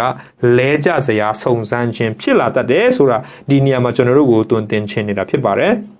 အဲ့ဒီအတွက်သူ့မှာအဲ့ဒီအပြစ်ရှိတယ်ကိုမကိုမအဲ့ဒီအလားတူအပြစ်မျိုးမရှိဘူးပဲထားပါတော့ဒါပေမဲ့ကျွန်တော်တို့မှာလည်းတခြားအပြစ်မျိုးလည်းရှိနိုင်တယ်ဆိုတာကိုဒီနေရာမှာသိစေချင်ပါတယ်မာသဲအခန်းကြီး26ငယ်34ထဲမှာပေတရုကဤသူရှိသမျှတို့ဒီကိုရောကြောင့် စိတ်ပြက်ကြတော့လေကျွန်ုပ်ဒီစိတ်အလင်းမပြတ်ပါဘူးရှောက်လေ၏တဲ့ပေတရုစီမှာနင်တို့တွေအကုန်လုံးငါ့ကိုထားခဲ့ကြမယ်လို့တပည့်တော်တွေစီမှာပြောတဲ့ချိန်ပေတရုကသူတို့တွေစိတ်ပြတ်သွားတောင်ကျွန်တော်စိတ်မပြတ်ဘူးလို့ပေတရုကပြောလိုက်တယ်အခါမှာသခင်ယေရှုကလည်းငါအမှန်ဆိုဒီကယနေ့ညတွင်ကြက်မသွန်မီတင်ဒီ၃ချိန်မြောက်ငါ့ကိုညင်းပယ်လိုက်မည်လို့ခရစ်တော်ကပေတရုကိုတတိပြေးခဲ့ပါတယ်ပေတရုကသူ့ကိုသူဘဝင်မြင့်ပြီးတော့ငါလုံနိုင်တယ်လို့သူထင်တဲ့ချိန်မှာသူ့ကိုတွေးသားကိုသူအားကိုးမိလိုက်တဲ့အတွက်ကြောင့် သူ့ရဲ့ရှေ့မှာကြာရှုံးခြင်းဆိုတာရှိပါတယ်မိတ်ဆွေတင့်တက်တာမှာလည်းတစ်ခါအခါအားလျော်စွာဖခင်ရဲ့ကျေးဇူးကိုခံစားရတာများပြီးတော့များလာတဲ့အခါမှာကိုကိုကိုအားကိုးလာမိတတ်ပါတယ်အဲ့လိုအားကိုးလာမိခြင်းအပြင်ကြာရှုံးခြင်းဟာတလန်းမှာပဲရှိတော့တယ်ဆိုတာတတိပေးစီပေးခြင်းပါတယ်ဆိုတော့ကျွန်တော်ကျွန်တော်တို့အနေနဲ့မလုပ်ရမလဲဆိုတော့အမြဲတမ်းဖယားအကူညီအမဆာကြောင့်ငါဟာနော် ဖယားကျေးဇူးတော်ကြောင့်ငါဒီလိုမဖြစ်ဘူးဆိုတာကိုအမြဲတမ်းသိဖို့လိုအပ်တာဖြစ်တယ်အဲ့ဒီနေရာမှာတတိထားဖို့အတွက်ဘာလဲဆိုတော့အတိအကျမပြောပေမဲ့ကျွန်တော်တို့ဥပု္ပ္ပစာဖြေကအခန်းကြီး9အငယ်26ထဲမှာရေးထားတဲ့အချင်းဤသောကြော်စောကိတ္တိကိုတတ်မှတ်ခြင်းဆိုတဲ့အရာလဲဖြစ်နိုင်တယ်လို့သုံးသပ်ထားပါတယ်။ဘာဖြစ်လို့လဲဆိုကျွန်တော်တို့ကဟိုနော်ကောင်းလာတယ်လို့ကိုကိုကိုထင်လာတဲ့အချိန်မှာဝါကြွားခြင်းတဲ့စိတ်တွေက ပေါ်လာတတ်တဲ့အတွက်ကြောင့်ကိုကိုကိုအာဝိညာဉ်ရေးဖက်မှာတာလွန်တယ်ဆိုပြီးတော့ သူများတွေထက်တာလွန်တယ်လို့ခံစားလာတဲ့အရာကကျွန်တော်တို့ကိုကြာရှုံးစေနိုင်တာဖြစ်ပါတယ်လို့ပြောပြခြင်းနဲ့အငယ်3နဲ့4မှာလည်းဒီအကြောင်းကိုပို့ပြီးတော့ထင်ဟပ်စေတာတခုရှိပါတယ်။ဘာလဲဆိုတော့အချင်းသူဒီဘာမျှမဟုတ်ပဲလက်ဤမြတ်လောက်ငါဖြစ်သည်ဟုစိတ်ထင်လင်ထိုးသူသည်ကိုကိုကိုလက်ဖြားသောသူဖြစ်၏လူတိုင်းကိုပြုသောအမှုကိုစစ်ကြောစေသောပြုလင်သူတပားနိုင်မဆိုပဲကို၌သာဝါကြွားဝမ်းမြောက်စရာအကြောင်းရှိလိမ့်မည်လို့ရေးထားပါတယ်ဒီညမှာ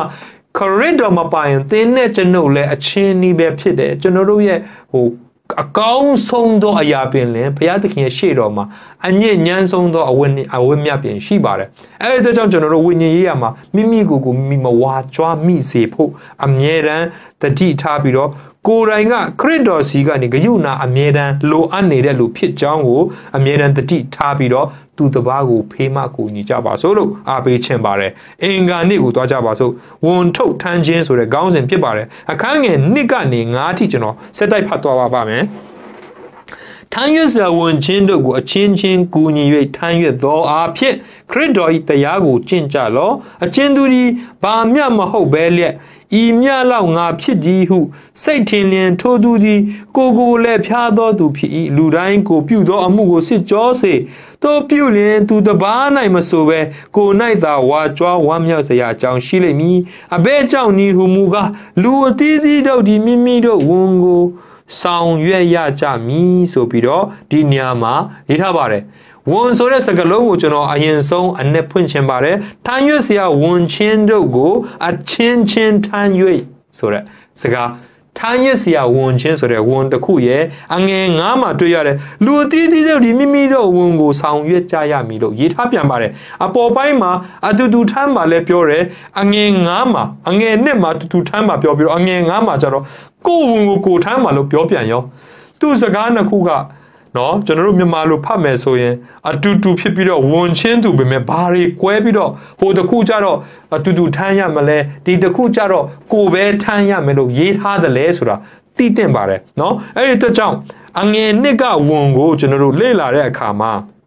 baros သူ့ရဲ့ Greek စာမှာ baros ဆိုတဲ့စကားလုံးသုံးထားတယ်အင်္ဂလိပ်မှာ burden လို့ကျွန်တော်တို့သုံးဘာသာပြန်ထားတာတွေ့ရပါတယ်ဆိုလိုတော့အဲ့ဒီဝန်က เนาะကျွန်တော်တို့ခยีးဝေးဝေးကိုတည်သွားရတဲ့ဝန်ထုတ်မျိုးကိုဆိုလိုခြင်းဖြစ်တယ်။တနည်းအားဖြင့်ကျွန်တော်တို့ဘဝရဲ့ပြဿနာတွေငွေလိုအပ်မှုတွေအခက်ခဲကြုံတဲ့ဟာတွေဝမ်းနည်းတဲ့ဟာတွေဖျားနာတဲ့ဟာတွေဒါတွေကိုဆိုလိုနိုင်တာဖြစ်တယ်။ဒီဝန်ကနော်ဟို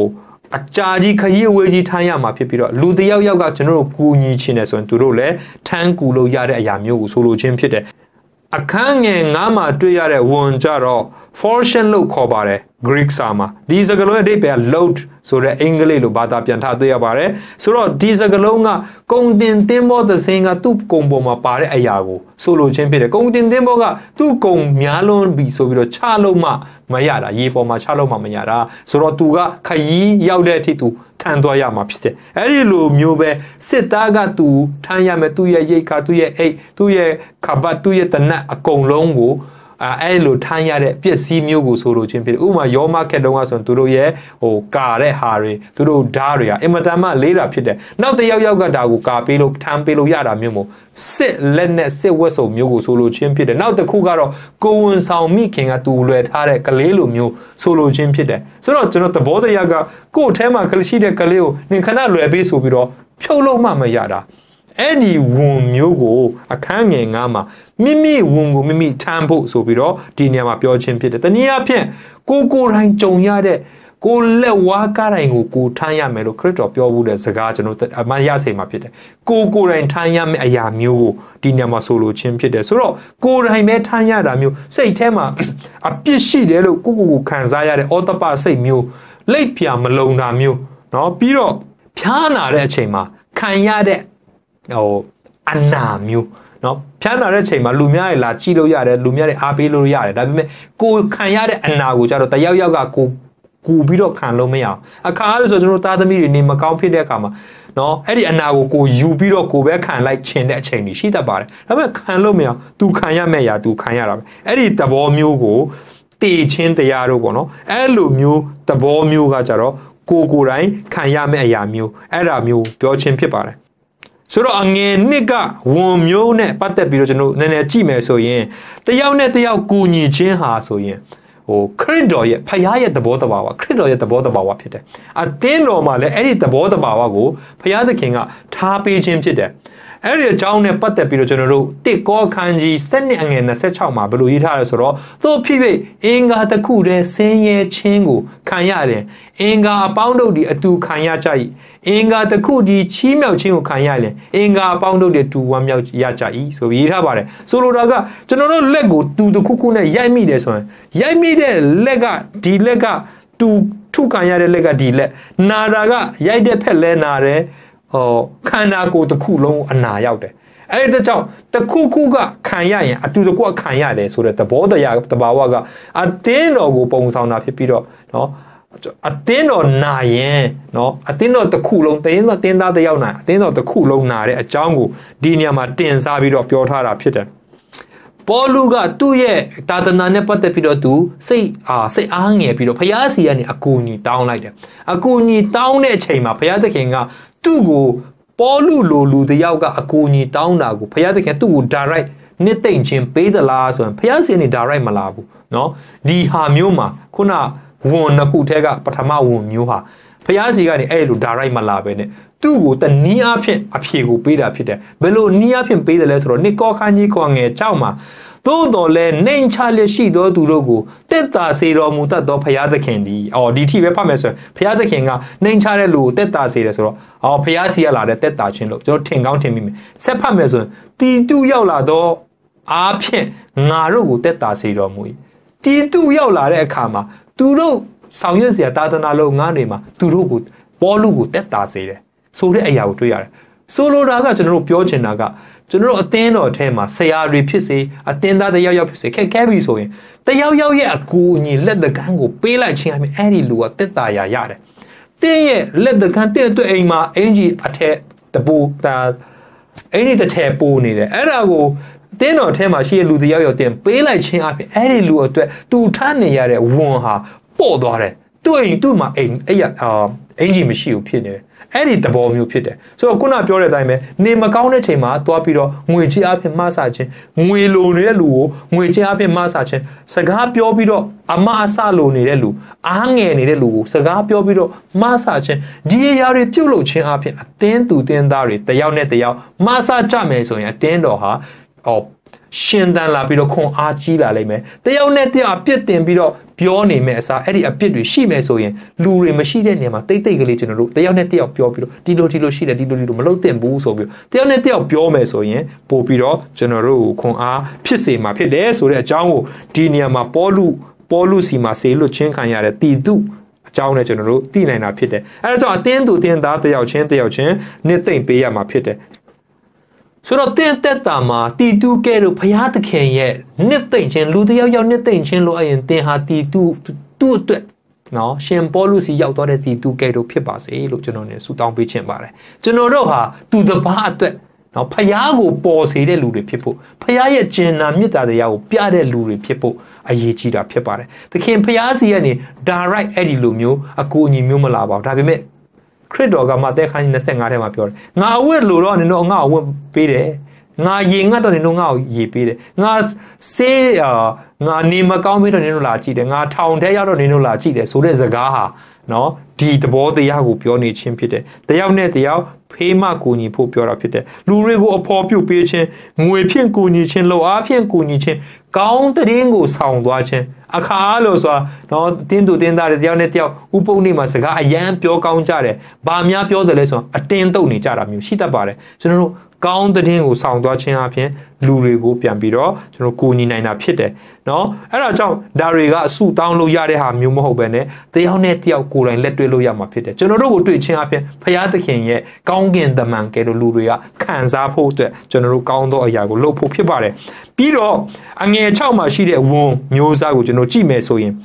သာသနာပြုဆရာမျိုးဒါမှဓမ္မဆရာမျိုးဒါမှမဟုတ်ရင်အမှုတော်ဆောင်တစ်ခုခုပေါ့နော်တူပေါ့နော်အဲ့လိုလူလူလူတွေရဲ့လိုအပ်ချက်တွေကိုပြောနေခြင်းလည်းဖြစ်တယ်ဆိုတော့ဒီနေရာမှာတနည်းအားဖြင့်ကြည်နိုင်အားသိနိုင်ပါတယ်ဆိုလိုတာက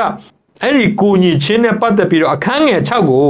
ခန်းကြီး6အခန်းငယ်6ကိုဖတ်မယ်ဆိုရင်နှုတ်ကပတ်တရားကိုတင်သောသူဒီတင်ပေးသောသူအားကောင်းသောအရာရှိသမျှတို့ကိုဝေမျှစေရနော်တင်သောသူဒီတင်ယူနေတဲ့လူကတင်ပေးသောသူအား ဆရာတွေကိုအရာကောင်းသောအရာရှိသမျှတို့ကိုဝေမျှစေဆိုတော့အသင်းသူအသင်းသားတွေကသူတို့ရဲ့ဆရာတွေကိုကောင်းသောအရာတွေပေးဖို့အတွက်ဒီနေရာမှာအားပေးခြင်းဖြစ်တယ်။တနည်းအားဖြင့်သာသနာပြုတဲ့လူတွေပါစတာတွေပြီးတော့ဓမ္မဆရာတွေသူတို့ရဲ့လိုအပ်ချက်တွေကိုအသင်းသူအသင်းသားတွေကကူညီပေးရမယ်လို့ပြောနေခြင်းဖြစ်ပါတယ်။ယောမအခန်းကြီး15အငယ်1မှာတို့ဖြစ်၍အားရှိသောငါတို့ဒီကိုအလိုတို့မလိုက်အားနေသောသူတို့၏အားနေခြင်းကိုတီးခံရကြမည် တီးခံပေးရမယ်သူတို့ကိုကူညီပေးရမယ်နော်ဆရာတွေလည်းအားနဲ့တတ်တယ်သူတို့ကိုကူညီပေးရမှာဖြစ်တယ်တိကောခန်းကြီးကိုငယ်ဆက်လေးထဲမှာထို့နည်းသူအေဝင်ဂီလီတရားကိုဟောတော်သူတို့သည်အေဝင်ဂီလီတရားကိုအမိပြု၍အသက်မွေးရမည်အကြောင်းဘုရားသခင်၏ပြည့်ညတ်တော်မူချက်ရှိ၏အေဝင်ဂီလီတရားကိုမိပြုတော်သူကအေဝင်ဂီလီတရားမိပြုပြီးတော့သူအသက်မွေးလို့ရတဲ့အကြောင်းဒီနေရာမှာဖော်ပြထားတယ်ပြောချင်တာဒီမှာဆရာတွေကိုတင်ယူချင်းခံရတဲ့လူတွေက ကောင်းသောအရာနဲ့မဆရမယ်ဆိုတဲ့အရာကိုကျွန်တော်အ내ဖွင့်နေခြင်းဖြစ်ပါတယ်တစ်တိအခန်းကြီး9ငယ်18ထဲမှာအကြောင်းမူကားစပားနင်းနေသောနွားဤနှုတ်ကိုမချုပ်တီးရဟုကျမ်းစာလာဤတစ်ချက်ကားလှုပ်ဆောင်သောသူဒီအခကိုခံထိုက်ပေသည်ဟုလာပြန်ဤဆိုပြီးရေးထားပါတယ်ဆိုတော့ဒီနေရာမှာကျွန်တော်ပြောချင်တာကကူညီခြင်းမှာအတင်းသားချင်းချင်းကူညီုံမကပဲနဲ့ဓမ္မဆရာတွေကိုလည်းကူညီပေးရဖို့ တင်းသူအတင်းသားတွေမှာတာဝန်ရှိတဲ့အကြောင်းဓမ္မဆရာတွေစီမှာပဲလက်ဖြန့်တောင်းဖို့မဟုတ်ပဲねဓမ္မဆရာတွေဘာလို့အနေလဲဒီဆရာတွေမိသားစုဘာတွေဒီနေ့သူတို့မှာစားဆရာရှိရလားအခါအားလျော်စွာဆရာတွေကပြောတာမပြောတာသူတို့စီမှာ နော်စံဘုံထဲမှာစံမရှိတော့တဲ့အချိန်တွေမနက်စာအတွက်စံမရှိတော့တဲ့အချိန်တွေညနေချက်ဖို့အတွက်စီမရှိတော့တဲ့အချိန်တွေဆရာတွေအများကြီးသူတို့တက်တာမှာတက်တေခံပြီဆိုရင်တွေ့ရတယ်ဒါဘာကြောင့်လဲအတင်းသူအတင်းသားတွေနဲ့နော်ကိုကဝါဆိုစားပြီးတော့ကိုဆရာတွေကငတ်ငတ်ပြက်ပြက်ဖြစ်နေတာကိုအတင်းသူအတင်းသားတွေနဲ့ဒါဒီတိုင်းပဲလက်ပိုက်ကြည့်နေမယ်ဆိုရင်ကျွန်တော်တို့ကောင်းသောအရာကိုဝေမဝေမျှချင်းမှာအာအလို့အမိမပေးနိုင်ဘူးဖြစ်တယ်အဲဒါကြောင့်တင်းသူတင်းသားတွေနဲ့ မျက်စိပါနာပါပြီးတော့ဆရာတွေရဲ့အခက်အခဲတွေကိုကိုညီပေးဖို့အတွက်အသင်းသူအသင်းသားတွေမှာတာဝန်ရှိတယ်လို့ကျွန်တော်အနေနဲ့ပြောပြချင်ပါတယ်ပြီးတော့အငယ်နှစ်ကိုခုနအငယ်အခန်းခန်းငယ်နှစ်ကိုဆက်ပြီးတော့ကျွန်တော်ကြည့်မယ်ဆိုရင်နောက်တစ်မျိုးအားဖြင့်ပေါ့နော်ကျွန်တော်တို့ကူညီပေးမယ်ဆိုတဲ့အချက်မျိုးကိုတခုထားမယ်ပြီးတော့သူများကျွန်တော်တို့ကိုကူညီလာဖို့အတွက်ကျွန်တော်တို့ရော welcome ဖြစ်ရလားဆိုတာလည်းတခုလိုအပ်တာဖြစ်တယ်ကျွန်တော်တို့ရောဟော ဟိုသူများတို့ဒါပဲကူညီချင်တယ်တချို့လူတွေရှိပါသူများကိုပဲကူညီဒါပေမဲ့သူ့ရဲ့အခက်ခဲသူ့ရဲ့အာအာဘာလဲလိုအပ်မှုတွေကိုじゃသူပြန်ပြီးတော့ share ပေးချင်တာမျိုးမရှိဘူးသူ့မှာဘာကြောင့်အဲ့လိုမလုပ်ချင်တယ်လဲဆိုတော့သူ့ရဲ့မာနကြောင့်ဖြစ်နိုင်တယ်လို့ဒါကျွန်တော်တို့ဥပု္ပ္ပစာပြတင်ခန်းစာဒီနေ့တင်ပေးထားပါတယ်။တနည်းအားဖြင့်သူ့မာနမဟုတ်ရင်သူက သူတို့တွေလို့တခြားလူတွေလို့အခက်ခဲရှိရဲ့လူမဟုတ်ဒါမှမဟုတ်ရင်ဝိညာဉ်ရေးရမှာလည်းသူကပြည့်စုံနေတဲ့လူတွေလူဖြစ်တယ်ဒါမှမဟုတ်ရင်အော်သူကဘယ်သူ့အကူညီမှမလိုတဲ့ပုံစံမျိုးနဲ့နေတတ်တယ်မာနကြောင့်တော်၎င်းသူဟာပြည့်စုံခြင်းရှိနေတဲ့ပုံစံမျိုးနဲ့တော်၎င်းသူဟာရှက်ကြောက်ခြင်းအတွက်တော်၎င်းဒါမှမဟုတ်သူများတွေစီအကူညီရမအောင်ယုံကြည်မှုမရှိခြင်းအပြင်တော်၎င်းဒါတွေအပြင်လူတွေရဲ့အကူညီမှုကို ပိတ်ဆို့တတ်ပါတယ်တဲ့။နော်အဲ့လိုပိတ်ဆို့ခြင်းဟာဝိညာဉ်ရေးရာမှာကျွန်တော်တို့ကိုပဲပြန်ပြီးတော့ထိခိုက်တယ်အဲ့လိုကျွန်တော်ဒီကနေ့ဥပုသ္စာပြေမှာသင်ခန်းစာအထက်မှာတွေ့ရပါတယ်။ကျွန်တော်တခါမှမသိဘူးတဲ့အကြောင်းအရာတစ်ခုလည်းဖြစ်ပါတယ်။ဆိုတော့ကျွန်တော်တို့အခါအားလျော်စွာယင်ဖွင့်ဖို့အခက်ခဲရှိတတ်ပါတယ်။မယုံကြည်မှုကြောင့်တော်လကောင်းပေါ့နော်။ဘာပဲဖြစ်ဖြစ်ကျွန်တော်လူတိုင်းကိုယင်ဖွင့်ဖို့ကိုယ့်ရဲ့ပြဿနာတွေအကုန်လုံးပြောဖို့ကျွန်တော်ပြောနေတာမဟုတ်ပါဘူး။ဒါပေမဲ့ကျွန်တော်တို့ကိုလူတွေကူညီဖို့ဖြစ်လာပြီဆိုရင်လက်ခံတတ်ဖို့အတွက်ကျွန်တော်တို့လည်း သူများတွေရဲ့အကူအညီလိုအပ်နေတဲ့လူတွေဖျားစီအကူအညီလိုအပ်နေတဲ့လူတွေကျွန်တော်တို့လည်းအဲသူတို့လိုကိုကိုလည်းအဲ့လိုဖြစ်နေတာပဲဆိုတာသိဖို့ရေးကြည့်ပါတယ်ငွေကြေးရှိတိုင်းလည်းအဲ့ဒီလူအကူအညီမလိုဘူးလို့မထင်လိုက်မိနဲ့တင့်သင်းတော်ထဲမှာရှိတဲ့ငွေကြေးပြည့်စုံနေတဲ့လူလည်းတင့်အကူအညီလိုနေတတ်တယ်နော်တခါလေတခါလေအဲ့ဒီလိုငွေကြေးရှိတဲ့လူဘယ်သူမှမပေါင်းလာမျိုးလည်းရှိတတ်တယ်အဲ့ဒီတော့ကြောင့်ငွေကြေးရှိလို့ဟိုကတ်နေတာမျိုးလည်းမဖြစ်တဲ့လို့လူငွေကြေးရှိလို့ပယ်နေတာမျိုးလည်းမဖြစ်တဲ့ဘူးကိုကငွေရှိလို့လူတွေ ရဲ့အကူအညီလူတွေရဲ့အမအဆမလိုဘူးလို့လည်းကိုကိုကိုမထင်မှတ်ဖို့အဲ့ဒီမှာကျွန်တော်အနေနဲ့ပြောချင်ပါတယ်အခန်းငယ်9မှာတွေ့ရတဲ့ဝန်မျိုးနဲ့ပတ်သက်ပြီးတော့ကျွန်တော်နည်းနည်းပြောပြချင်ပါတယ်အဲ့ဒီဝန်ကတော့ဟိုလူကတခြားလူတွေရောကျွန်တော်တို့ထမ်းပေးလို့မရတော့ ဖယားတပါးသီးတာလည်းကျွန်တော်တို့ကိုပြုလုပ်ပေးလို့ရတဲ့အရာဖြစ်တယ်။အဲ့ဒီလိုဝန်မျိုးကကျွန်တော်တို့ထဲမှာလက်ပြမတတ်မဲနဲ့အပြစ်ရှိနေတဲ့လူမျိုးခံစားရတာမျိုးပြီးတော့ကျွန်တော်တို့အနာယောဂခံစားတဲ့အချိန်မှာတကယ်နာနေပြီအဲ့ဒီအနာကိုတော့လူတယောက်ယောက်ကခံစားကူလို့မရအောင်အဲ့လိုမျိုးကြတော့ကျွန်တော်ဖျားစီမှာတွားလို့ရတယ်။ဆာလံ55အငယ်7နှစ်20မှာထမ်းရွက်ရသောဝန်ကိုထာဝရဘုရား၌ချထားလော့ တင့်ကိုမဆတော်မူမီဖြောင်းမတော်သူကိုအစဉ်မြတ်လှုပ်ရှားစေတော်မမူရာဆိုပြီးတော့နော်ကျွန်တော်တို့မှာရှိတဲ့ထမ်းရသောဝန်ကိုဘုရားသခင်စီမှာချထားဖို့အတွက်ဘုရားကဖိတ်ခေါ်ထားပါတယ်ကျွန်တော်တို့ကတော့မချခြင်းချခြင်းဖြစ်နေတတ်ပါတယ်အထူးသဖြင့်ကျွန်တော်တို့အပြစ်နဲ့ပတ်သက်တဲ့ဝန်ကိုထမ်းတဲ့အချိန်မှာနော်ကျွန်တော်တို့ကဒီအပြစ်ကိုမထားမထားခဲ့ခြင်းပဲနဲ့ အဲ့ဒီဝန်ကိုထမ်းနေခြင်းတော့မဖြစ်တတ်ပါတယ်ဖះစီမှာအနံလိုက်ပါလို့ပြောပြခြင်းနဲ့တစ်ပေခန်းကြီးငါအငယ်ခွန်ထဲမှာလဲတင်တို့ကိုတတိနဲ့ကြည့်ရှုတော်မူသောကြောင့်တင်တို့၌စိုးရိမ်ခြင်းအမှုရှိသမျှကိုနည်းနည်းလေးခြံထားလို့မရအမှုရှိသမျှတို့ကိုကိုတော်၌အနံကြလောဆိုပြီးတော့နှုတ်ကပတ်တော်ကကျွန်တော်တို့အားပေးထားပါတယ်နှုတ်ကပတ်တော်ရဲ့စိန်ခေါ်ခြင်းဖြစ်တင်ရဲ့ဝန်လူတွေထမ်းကူလို့မရတဲ့အဝန်တွေကိုဖျားစီမှာချပါလို့ကျွန်တော်အနေနဲ့အားပေးချင်ပါတယ်ဗုဒ္ဓဟူးနေ့သွားကြပါစို့ ဟောခရစ်တော်ဤတရားဆိုတဲ့ခေါင်းစဉ်ဖြစ်ပါတယ်ခုနကကျွန်တော်ဖတ်တဲ့အထက်မှာအခန်းအခန်းငယ်1ကနေ9ကြားထဲမှာပဲရှိပါတယ်ကျွန်တော်နောက်တစ်ခါမှဖတ်တော့ပါဘူးခရစ်တော်ဤတရားကိုကျင့်ကြလောဆိုတဲ့စကားတစ်လုံးပါပါတယ်ဒီစကားလုံးဟာအင်္ဂလိပ်မှာ the law of Christ လို့ရေးထားပါတယ် the law of Christ ကတမန်ကျမ်းစာတစ်ခုလုံးထဲမှာဒီတနေရာမှာပဲရှိပါတယ်ဒါပေမဲ့လည်းကျွန်တော်တို့မြန်မာကျမ်းမှာကြည့်မယ်ဆိုရင် Greek မှာကြည့်မယ်ဆိုရင်လည်းဒီတစ်ကောခန်းကြီးကိုအငယ်20နဲ့21နဲ့ တူတယောင်ရှိပါတယ်ဆိုလိုတာကသဘောချင်းတူတာဖြစ်ပါတယ်ကျွန်တော်မြန်မာမှာဖတ်မယ်ဆိုရင်တော့စကားလုံးတူပါတယ်ဘုရားသခင်ရှေ့တော်၌တရားမဲ့မနေခရစ်တော်ဤတရားကိုကျင့်တော်သူဖြစ်တော်လဲပညတ်တရားမဲ့သောသူတို့ကိုရစေခြင်းကပညတ်တရားမဲ့သောသူတို့၌ပညတ်တရားမဲ့သောသူကဲ့သို့ဖြစ်၏ဆိုပြီးရှင်ပေါလုကရေးထားပါတယ်ခရစ်တော်တရားကိုကျင့်တော်သူဆိုတဲ့စကားလုံးသုံးထားတာတွေ့ရပါတယ် ဆိုတော့ဒီစကလုံးနှလုံးဟာတမန်ကျမ်းစာထဲမှာအဲ့ဒီနှလုံးပဲရှိတယ်ဆိုတော့လူတွေကဒီအာဂလာတိခန်းကြီး6အငယ်1ထဲကခရစ်တော်ဤတရား the law of Christ ဆိုတဲ့စကားလုံးဟာဖျားသခင်ရဲ့ပညတ်တော်ဖြစ်တဲ့ the law of God ဆိုတဲ့တိနာတောင်ပေါ်ကနေရတဲ့ပညတ်ကိုလဲလိုက်တဲ့ပညတ်ဖြစ်တယ်လို့လူတွေကမာယွန်းစွာနဲ့ဖွင့်ပါတယ် ဘလို့မားတယ်လဲဆိုတော့ခဏနေကျွန်တော်ရှင်းပြမယ်ဒုတိယတစ်ခုသူတို့ထင်တာကနော်ယောမအခန်းကြီးခွန်ငယ်27ထဲမှာထိုတို့ကောင်းသောအကျင့်ကိုငါတို့ကျင့်ချင်သောအခါမကောင်းသောအကျင့်ကိုကျင့်စေတတ်သောတရားကိုငါတွေ့၏လို့ရေးထားပါတယ်မကောင်းသောအကျင့်ကိုကျင့်စေတတ်သောတရားလို့ပြောလိုက်တဲ့အခါမှာ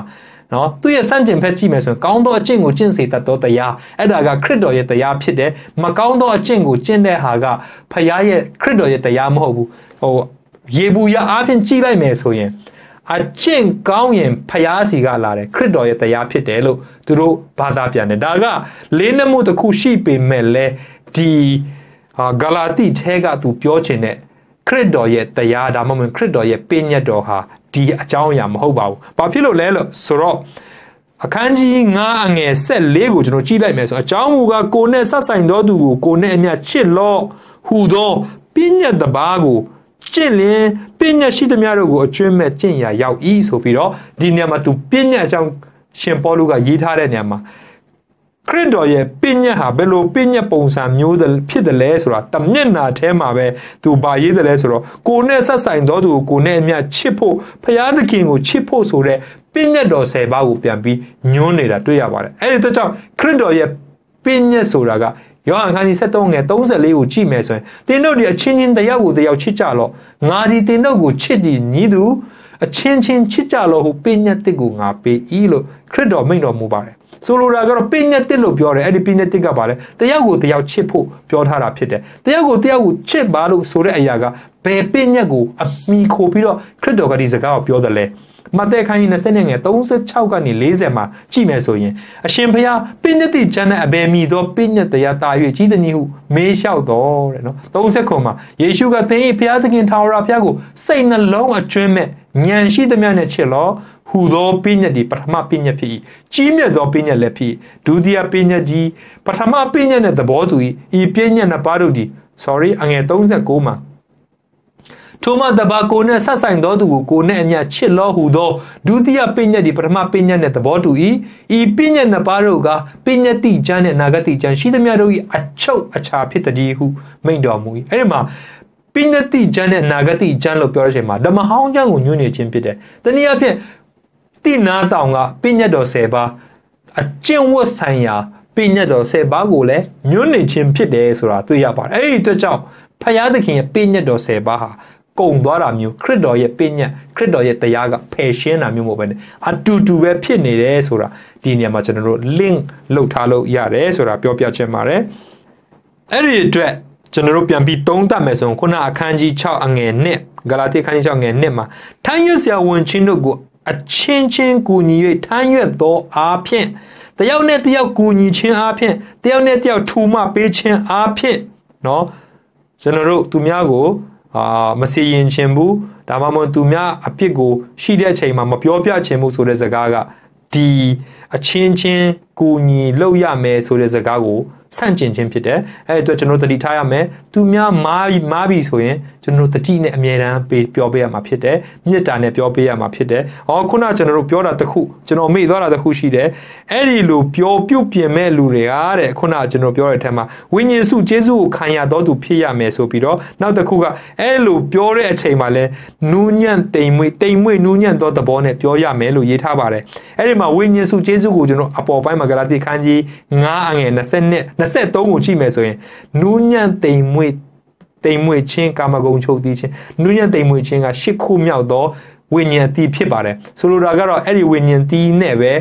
လူတွေကိုပြန်ပြီးတော့အားပေးစေခြင်းတဲ့အကြောင်းကျွန်တော်တွေ့ရတာဖြစ်တယ်ဆိုလိုတာကကျွန်တော်ပြောချင်တာကသူတပားရဲ့ဝန်ကိုထမ်းပေးခြင်းမေတ္တာအားဖြင့်ထမ်းပေးခြင်းဟာသခင်ယေရှုခရစ်တော်ရဲ့ခြေရာကိုလိုက်ခြင်းဖြစ်ပြီးတော့ ပညတ်တရားကိုစုံလင်စေခြင်းဖြစ်တယ်ဆိုတာဒီညမှာရှင်းရှင်းလင်းလင်းတွေ့ရတဲ့အကြောင်းခရစ်တော်ကသူ့ရဲ့တရားလို့ပြောလိုက်တဲ့အရာကတော့သူတစ်ပါးကိုကူညီပြီးတော့ဖခင်ခရစ်တော်ရဲ့နောက်ကိုလိုက်ခြင်းဆိုလိုခြင်းဖြစ်တယ်ခရစ်တော်ရဲ့နောက်ကိုလိုက်တယ်ဆိုတာဘာကိုပြောချင်တယ်လဲဆိုတော့ဥပမာ မဿဲခန်းကြီး7ငယ်28ထဲမှာဝန်လေးပင်ပန်းတော်သူအပေါင်းတို့ငါထံတို့လာကြတော့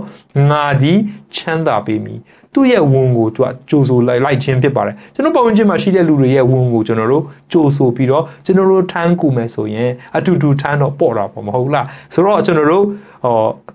လူတယောက်ယောက်ဟာเนาะကျွန်တော်ပတ်ဝန်းကျင်မှာရှိတဲ့ယုံကြည်သူတယောက်ယောက်ဟာ မတရားဆွဆွဲခံခြင်းကြောင့်ဖြစ်စေသူ့ရဲ့အပြစ်ကြောင့်ဖြစ်စေစိတ်ညစ်နေတယ်စိတ်လေးနေတဲ့အချိန်မှာကျွန်တော်တို့ကသူ့ကိုရှောင်ခွာပြီးတော့ထားဖို့မဟုတ်အိမ်တယောက်ယောက်ရဲ့အိမ်မှာမိသားစုမှာနေမကောင်းဖြစ်တဲ့လူရှင်ကျွန်တော်သွားကြည့်ပေးရမယ်စိတ်ဓာတ်ကျနေလို့ဆိုလို့ရှင်သွားပြီးတော့သူ့ကိုအားပေးရမယ်ငွေရေးကြေးလိုအပ်နေလို့ရှင်ကျွန်တော်ကိုညီပေးရမှာဖြစ်တယ်ဒါတွေအကုန်လုံးက ခရစ်တော်လိုက်လို့ပေးတဲ့ခရစ်တော်ကြိုးဆိုနေတယ်လို့မျိုးပဲခရစ်တော်နောက်ကိုလိုက်ခြင်းဖြစ်ပါတယ်เนาะခရစ်တော်ကကျွန်တော်တို့ရဲ့ဝန်ကိုဘယ်လောက်ထိထမ်းချင်တယ်လဲဆိုတော့သူဂရနီလမ်းမှာဤခွက်ကိုကျွန်ုပ်မှလွဲစေပါသို့တော်လည်းကျွန်ုပ်လူတိုင်းမဟုတ်ဘဲနဲ့ကိုတော့လူတိုင်းဖြစ်ပါစေသူတီပွဲဝင်တဲ့အထိကျွန်တော်တို့ရဲ့ဝန်ကိုထမ်းပေးခြင်းတာဖြစ်ပါတယ်ဒီကနေ့ခရစ်တော်ကကျွန်တော်တို့ကိုဖိတ်ခေါ်နေတယ်အဲလိုပဲကျွန်တော်တို့လည်းအသင်းသူအသင်းသားတွေချင်းချင်းတယောက်တစ်ယောက်ကိုညီချင်းနဲ့လှုပ်ပေးဖို့အရန်အရေးကြီးတဲ့အကြောင်းပြီးတော့အာ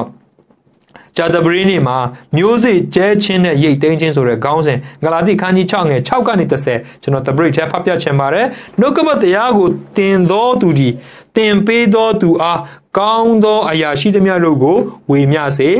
လွဲမယူချနဲ့ဘုရားသခင်ဒီမထီမဲ့မြင်ပြုခြင်းကိုခံတော်မမူလူဒီမျိုးစေ့ကျဲဒီအတိုင်းအသီးနှံကိုရိတ်ရလိမ့်မည်မိမိဇာတိပဂတိ ဖြင့်ပုတ်ပြက်ခြင်းအတိအနံကို sorry ဇာတိပဂတိ၌မျိုးစေ့ကျဲသောသူသည်ဇာတိပဂတိအားဖြင့်ပုတ်ပြက်ခြင်းအတိအနံကိုရိတ်ရလိမ့်မည်ဝိညာဉ်ပဂတိ၌မျိုးစေ့ကျဲသောသူသည်ဝိညာဉ်ပဂတိအားဖြင့်ထာဝရအသက်ရှင်ခြင်းအတိအနံကိုရိတ်ရလိမ့်မည်ငါတို့ဒီအာမယော့စိတ်မပြတ်ပဲကောင်းသောအကျင့်ကိုကျင့်ကြကုန်အံ့ထိုတို့တည်ကြည်၍ကျင့်လျင်အချိန်တန်သောကာလ၌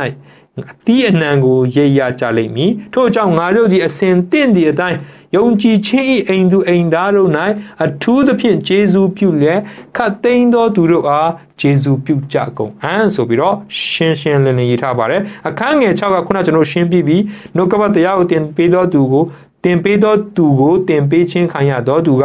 နော်ကောင်းစွာပြုရမယ့်အကြောင်းရေးထားပါတယ်အငယ်ခုံကိုကျွန်တော်သွားမယ်အလွဲမယူကြနဲ့တဲ့နော် ဆိုတော့ဘုရားသခင်ဒီမထီမဲ့မြင်ပြုတ်ခြင်းကိုခံတော်မမူဆိုတဲ့စကားမထီမဲ့မြင်ပြုတ်ခြင်းဆိုတဲ့စကားကိုကျွန်တော်တမန်ကျမ်းစာထဲမှာဒီနေရာမှာတစ်ချိန်ပဲတွေ့ရတာဖြစ်ပါတယ်။နော်နှုတ်ကပတ်တော်ဒီစကလုံးကိုဓမ္မတစ်ကျမ်းမှာတစ်ချိန်ပဲကျွန်တော်တွေ့ရတာဖြစ်ပါတယ်။ဒီစကလုံးလိုမျိုးအလားတူ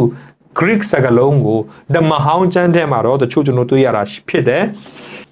အဲ့ဒါတွေအဲ့ဒီကျမ်းချက်တွေကျွန်တော်ကြည့်မယ်ဆိုရင်ပထမဆုံးအာ600ခန်းကြီး36ငယ်16ထဲမှာဘုရားသခင်တမန်တော်တို့ကိုပြည့်ရပြု၍အမိန့်တော်ကိုနားမထောင်ပရော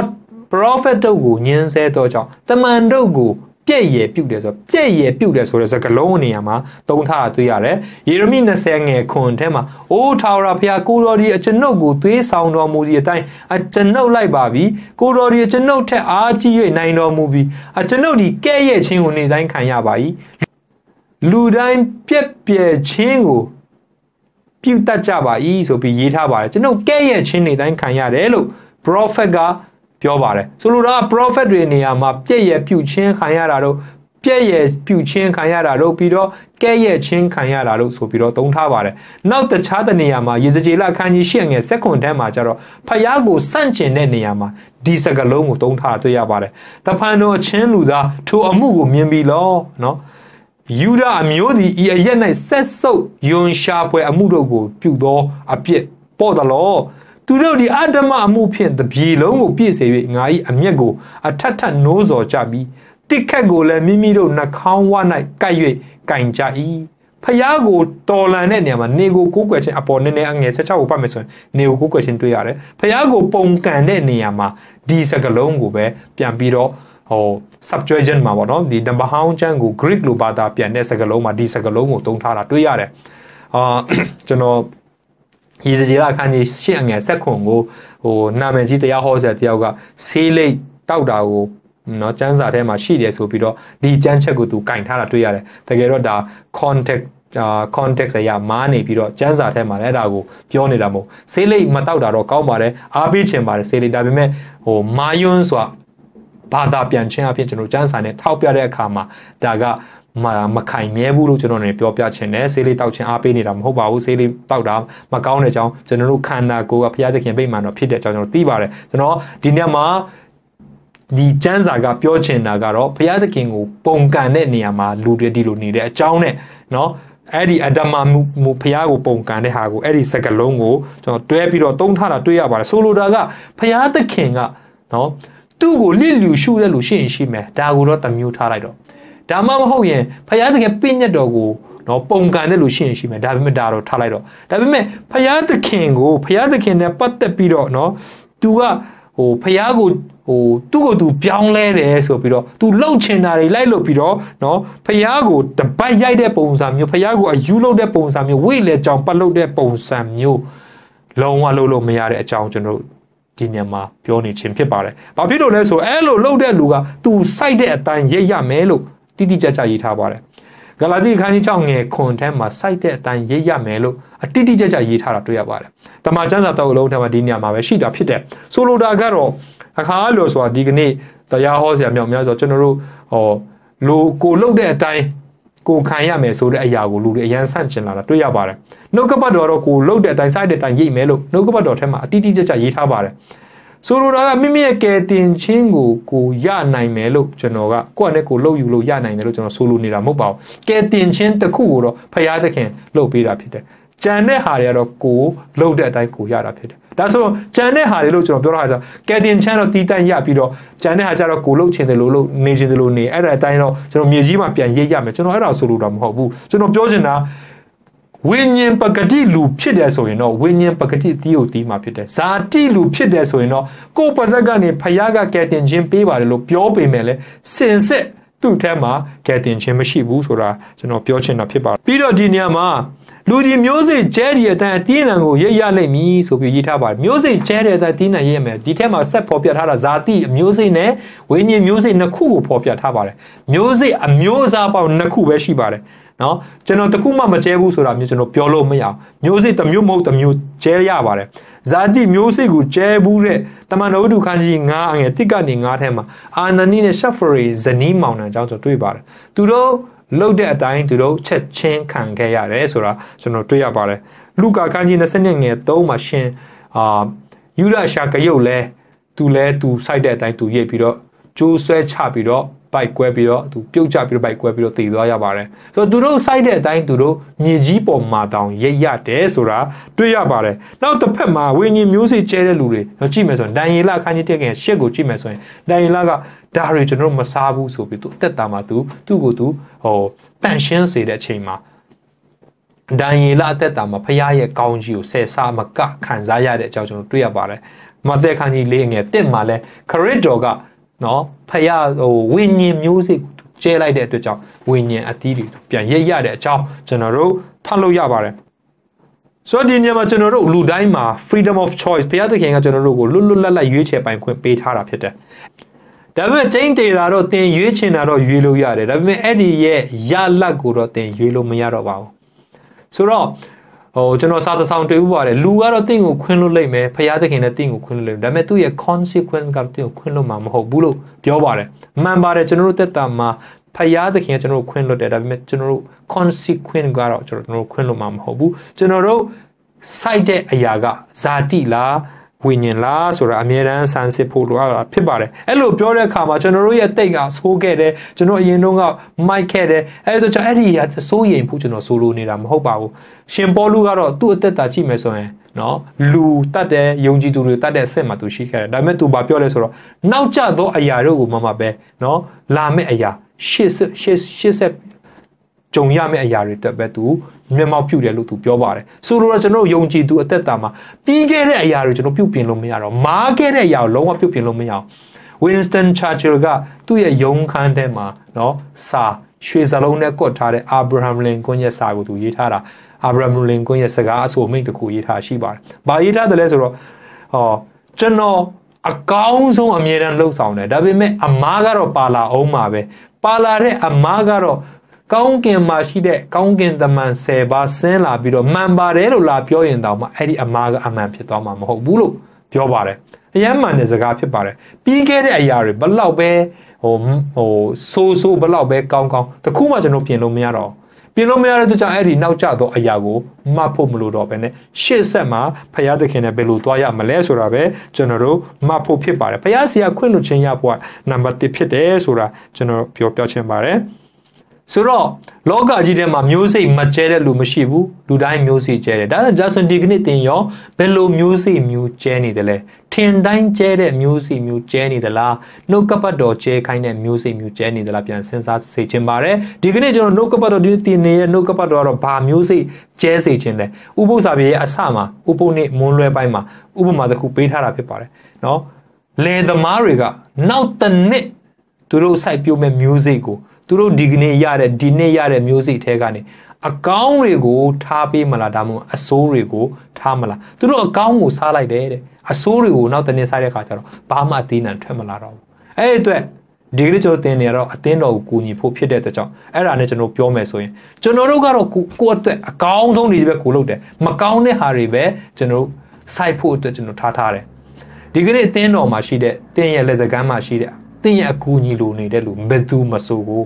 တင်းရဲ့အကောင်းဆုံးတွေတင်ပေးမယ်ဆိုရင်တင်ကျဲတဲ့မျိုးစေ့ကကောင်းသောမြေမှာကြာနေလေကောင်းသောမျိုးစေ့ဖြစ်တယ်။ဒီနေ့ကျရင်တင်အဲ့ဒါအဲ့ဒီမျိုးစေ့ကိုဤကာမန်ပြန်ပြီးရိတ်သိမ်းရမှာဖြစ်တယ်။ဒီလောကကြီးထဲမှာကျွန်တော်မဆိုလို့ပါဘူးဒီကျမ်းစာထဲမှာပြောလဲဆိုတော့မိမိဇာတိပဂတိစိတ်၌ဟာဇာတိပဂတိ၌မျိုးစေ့ကျဲသောသူဒီဇာတိပဂတိအားဖြင့်ပုတ်ပြက်ခြင်းအသီးနှံကိုရိုက်ရလေပုတ်ပြက်ခြင်းအသီးနှံဆိုတာပေချေပျက်စီးခြင်းကိုပြောတာဖြစ်တယ်။ ဝိညာဉ်ပဂတိမျိုးစေ့ကျဲသောသူကြီးဝိညာဉ်ပဂတိအပြင်ထာဝရအသက်ရှင်ခြင်းအတိအနံကိုရရမယ်။ဝေါကျွန်တော်တို့အသက်တာမှာကောင်းသောအတိအနံကိုဟောမျိုးစေ့ကိုကျဲခြင်းအပြင်ထာဝရဆိုတဲ့အသက်ကိုကျွန်တော်တို့ဂတိပေးထားတာဒီတမန်ကျမ်းစာကပေးထားတာဖြစ်ပါတယ်။အကြီးဆုံးသောပြဿနာတစ်ခုကတော့ကျွန်တော်တို့ကဇာတိမျိုးစေ့ကိုကျဲပြီးတော့ဖျားစီကနေကောင်းသောမျိုးစေ့ကို ကောင်းသောအသီးအနှံကိုမျှော်လင့်နေမိခြင်းဖြစ်ပါတယ်ကျွန်တော်တို့ကဘာမှလည်းမလုပ်ချင်ဘူးဒါပေမဲ့ဖျားစီကနေခွင့်လွှတ်ခြင်းနဲ့ကောင်းကြီးကြီးပဲမျှော်လင့်ထားပြီးတော့အကောင်းကြီးတွေမလာတဲ့အခါမှာအံ့ဩလိုက်သေးတယ်ကျွန်တော်တို့တက်တာကเนาะဒီတော့ကျွန်တော်တို့စဉ်းစားဖို့လိုအပ်ပါတယ်ကျွန်တော်တို့ဘာမျိုးစိတ်မျိုးများကျဲနေတယ်လဲဖျားကခွင့်လွှတ်မယ်ခွင့်လွှတ်မယ်ဆိုပြီးတော့ကျွန်တော်တို့မြေကြီးဇာတိမျိုးစိတ်ကြီးပဲကျွန်တော်ကျဲမယ်ဆိုရင်ပြဿနာမျိုးစိတ်ကျဲမယ်ဆိုပြဿနာတွေကိုကျွန်တော်တို့ရိပ်ရလိုက်မယ်ကျွန်တော်ဟာတော့မကောင်းတဲ့ဇာတိ မျိုးစိမကျဲမိဖို့အတွက်ကျွန်တော်အနေနဲ့အားပေးချင်တာဖြစ်ပါတယ်ဒါပေမဲ့ဝိညာဉ်မျိုးစိကျဲတဲ့အခါမှာတခါတလေကျရင်ကိုကျဲတယ်လို့မျိုးမပင်အပင်မပေါက်လာတာမျိုးလည်းရှိတတ်ပါတယ်โอเคမှန်ပါတယ်ဒါဆိုရင်ထင်တယ်လို့မပေါက်လာဘူးဆိုရင်မရိပ်ရဘူးဆိုရင်မကျဲတော့ဘူးလားဘာမှမကျဲဘာမှပေါက်လာမှာမဟုတ်ဘူးဘာမှမကျဲဘူးဆိုတော့မရှိဘူးခုနပြောပြီးပြီဘာမှမကျဲရင်တော့ဇာတိမျိုးစိကျဲနေတာပဲဖြစ်တယ်အဲဒါကြောင့်တခုခုတော့ရွေးရလိမ့်မယ်ဒါဆိုတော့ကျွန်တော်နဲ့တင်တဲ့ဟာ ဝိညာဉ်မျိုးစိပဲကျဲတင်တယ်မဟုတ်ဘူးလားဆိုတော့ကျွန်တော်တက်တာပြောင်းလဲတယ်ပြောင်းလဲ born again born again ဖြစ်တယ်လို့ပြောပြီးတော့ဇာတိမျိုးစိပဲမကျဲမိဖို့ကျွန်တော်တို့အရန်အရေးကြီးတာဖြစ်တယ်ပြီးတော့နောက်ဆုံးတစ်ခုအနေနဲ့ငယ်30အထဲမှာနော်ထို့ကြောင့်ငါတို့ဒီအစဉ်တင့်ဒီအတိုင်းယုံကြည်ခြင်းဤအိမ်သူအိမ်သားတို့၌အထူးသဖြင့်ဂျေဇုပြုလက်ခတ်သိမ်းသောသူတို့အားဂျေဇုပြုကြကုန်အံ့ကျွန်တော်တို့ရဲ့လို့ကြမ်းချက်လည်းဖြစ်တယ်အိမ်သူအိမ်သားတွေအတင်းသူအတင်းသားတွေအထူးနီလန်းအားဖြင့် ကျွန်တော်တို့သူတို့ကိုဂျေဇုပြုပြီးကူညီရမယ်လို့ပြောတယ်ပြီးတော့နောက်တစ်ခုကခတ်သိမ်းသောသူတို့အားဂျေဇုပြုမယ်ခတ်သိမ်းသောလူတိုင်းဟာဖျားဖန်ဆင်းထားတဲ့လူတွေဖြစ်တယ်တဲ့နဲ့လူတိုင်းဟာသူတို့အတွက်လည်းခရစ်တော်သေခံတယ်အဲ့ဒီကြောင့်သူတို့ကိုလည်းကျွန်တော်တို့အကောင်းလို့ပေးခြင်းအပြင်ကူညီရမယ်လို့ဒီကနေ့ဥပုသ္စာပြေကသင်နေတာဖြစ်ပါတယ်နောက်ဆုံးတစ်ခုအနေနဲ့နာငယ်ကိုထဲမှာငါတို့ဒီအာမရော့စိတ်မပြတ်ပဲကောင်းသောအခြင်းကိုကျင့်ကြကုန်ဟမ်ကောင်းသောအခြင်းကိုကျင့်တဲ့အချိန်မှာမိတ်ဆွေ စိတ်ပြက်စရာမရှိဘူးအာအပျော်စရာတွေကြီးပဲအာတက်စရာတွေကြီးပဲလာမယ်လို့မထင်လိုက်ပါနဲ့သင်ကောင်းသောမျိုးစေ့ကိုကျဲတဲ့အချိန်မှာစိတ်တကြစရာအားပြက်စရာတွေရှိပါတယ်ဒါပေမဲ့နှုတ်ကပတ်တော်ကပြောတယ်အားမလျော့စိတ်မပြက်ဘဲနဲ့ကောင်းသောအချင်းကိုကျင့်ပါတဲ့ထို့တို့တည်ကြည်၍ကျင့်လေအချိန်တန်သောကာလ၌ကျွန်တော်တို့ကတော့အချိန်တန်ပြီလို့အမြဲတမ်းထင်တတ်ပါတယ်။ဘာဖြစ်လို့လဲအကောင်းတွေအမြဲတမ်းဒီနေ့အလူငွေပေးမနေ့ဖန်ကြံကောင်းကြီးလာစေခြင်းတဲ့လူတွေလေ။ဒါပေမဲ့နှုတ်ကပတ်တော်ကအချိန်တန်သောကာလ ဖျားတတ်မှတ်ထားတဲ့အချိန်ရှိပါတယ်။ဂလာတိခန်းကြီးလေးငယ်လေးမှာအချိန်ကာလစေ့တော့ကခရစ်တော်မွေးဖွားတဲ့အကြောင်းရေးထားပါတယ်ဆိုလိုတာကဖျားမှာချိန်ကန်တန်တယ်ဆိုတဲ့ကာလတစ်ခုရှိတယ်ဖျားရဲ့ချိန်ကာလကိုကျွန်တော်တို့စောင့်တတ်ဖို့လိုတယ်ဖျားကတော့ဘယ်တော့မှနောက်မချဘူးဆော်လဲမဆော်ဘူးအဲ့ဒါအချိန်တန်သောကာလ၌အတီးအနံကိုရေးရလိမ့်မယ်တဲ့ဒီကနေ့မိတ်ဆွေကျဲတဲ့ဝိညာဉ်မျိုးစိတွေဘယ်လောက်ရှိပါသလဲအဲ့ဒီအတီးနံကိုတစ်ချိန်မှာသင်ပြန်ပြန်ပြီးတော့ ရိပ်ရမှာဖြစ်တယ်ဆိုတဲ့အကြောင်းကိုကျွန်တော်အနေနဲ့ပြောပြရင်းနဲ့အသင်းတော်ထဲမှာကျွန်တော်ရဲ့ဧဝံဂေလိတရားတယောက်နဲ့တယောက်ကူညီခြင်းအားဖြင့်အသင်းတော်ကိုကျွန်တော်တို့ဖေးမှပြီးတော့ရှင်တန်ပေါက်ဖွားပြီးတော့ကြီးပွားစေရမှာဖြစ်တယ်။ကျမ်းစာတို့ရောက်စီတိုင်းတက်တာမှာဝိညာဉ်မျိုးစေ့ကိုကျဲပြီးတော့အသင်းတော်ရဲ့ဧဝံဂေလိတရားမှာပါဝင်နိုင်ကြပါစေလို့ဆုတောင်းမေတ္တာပို့ရင်းညီကုန်းချုပ်ပါတယ်။ကျမ်းစာတို့ရောက်စီတိုင်းဘုရားသခင်တာ၍တာ၍ကောင်းချီးပေးပါစေ။အာမင်။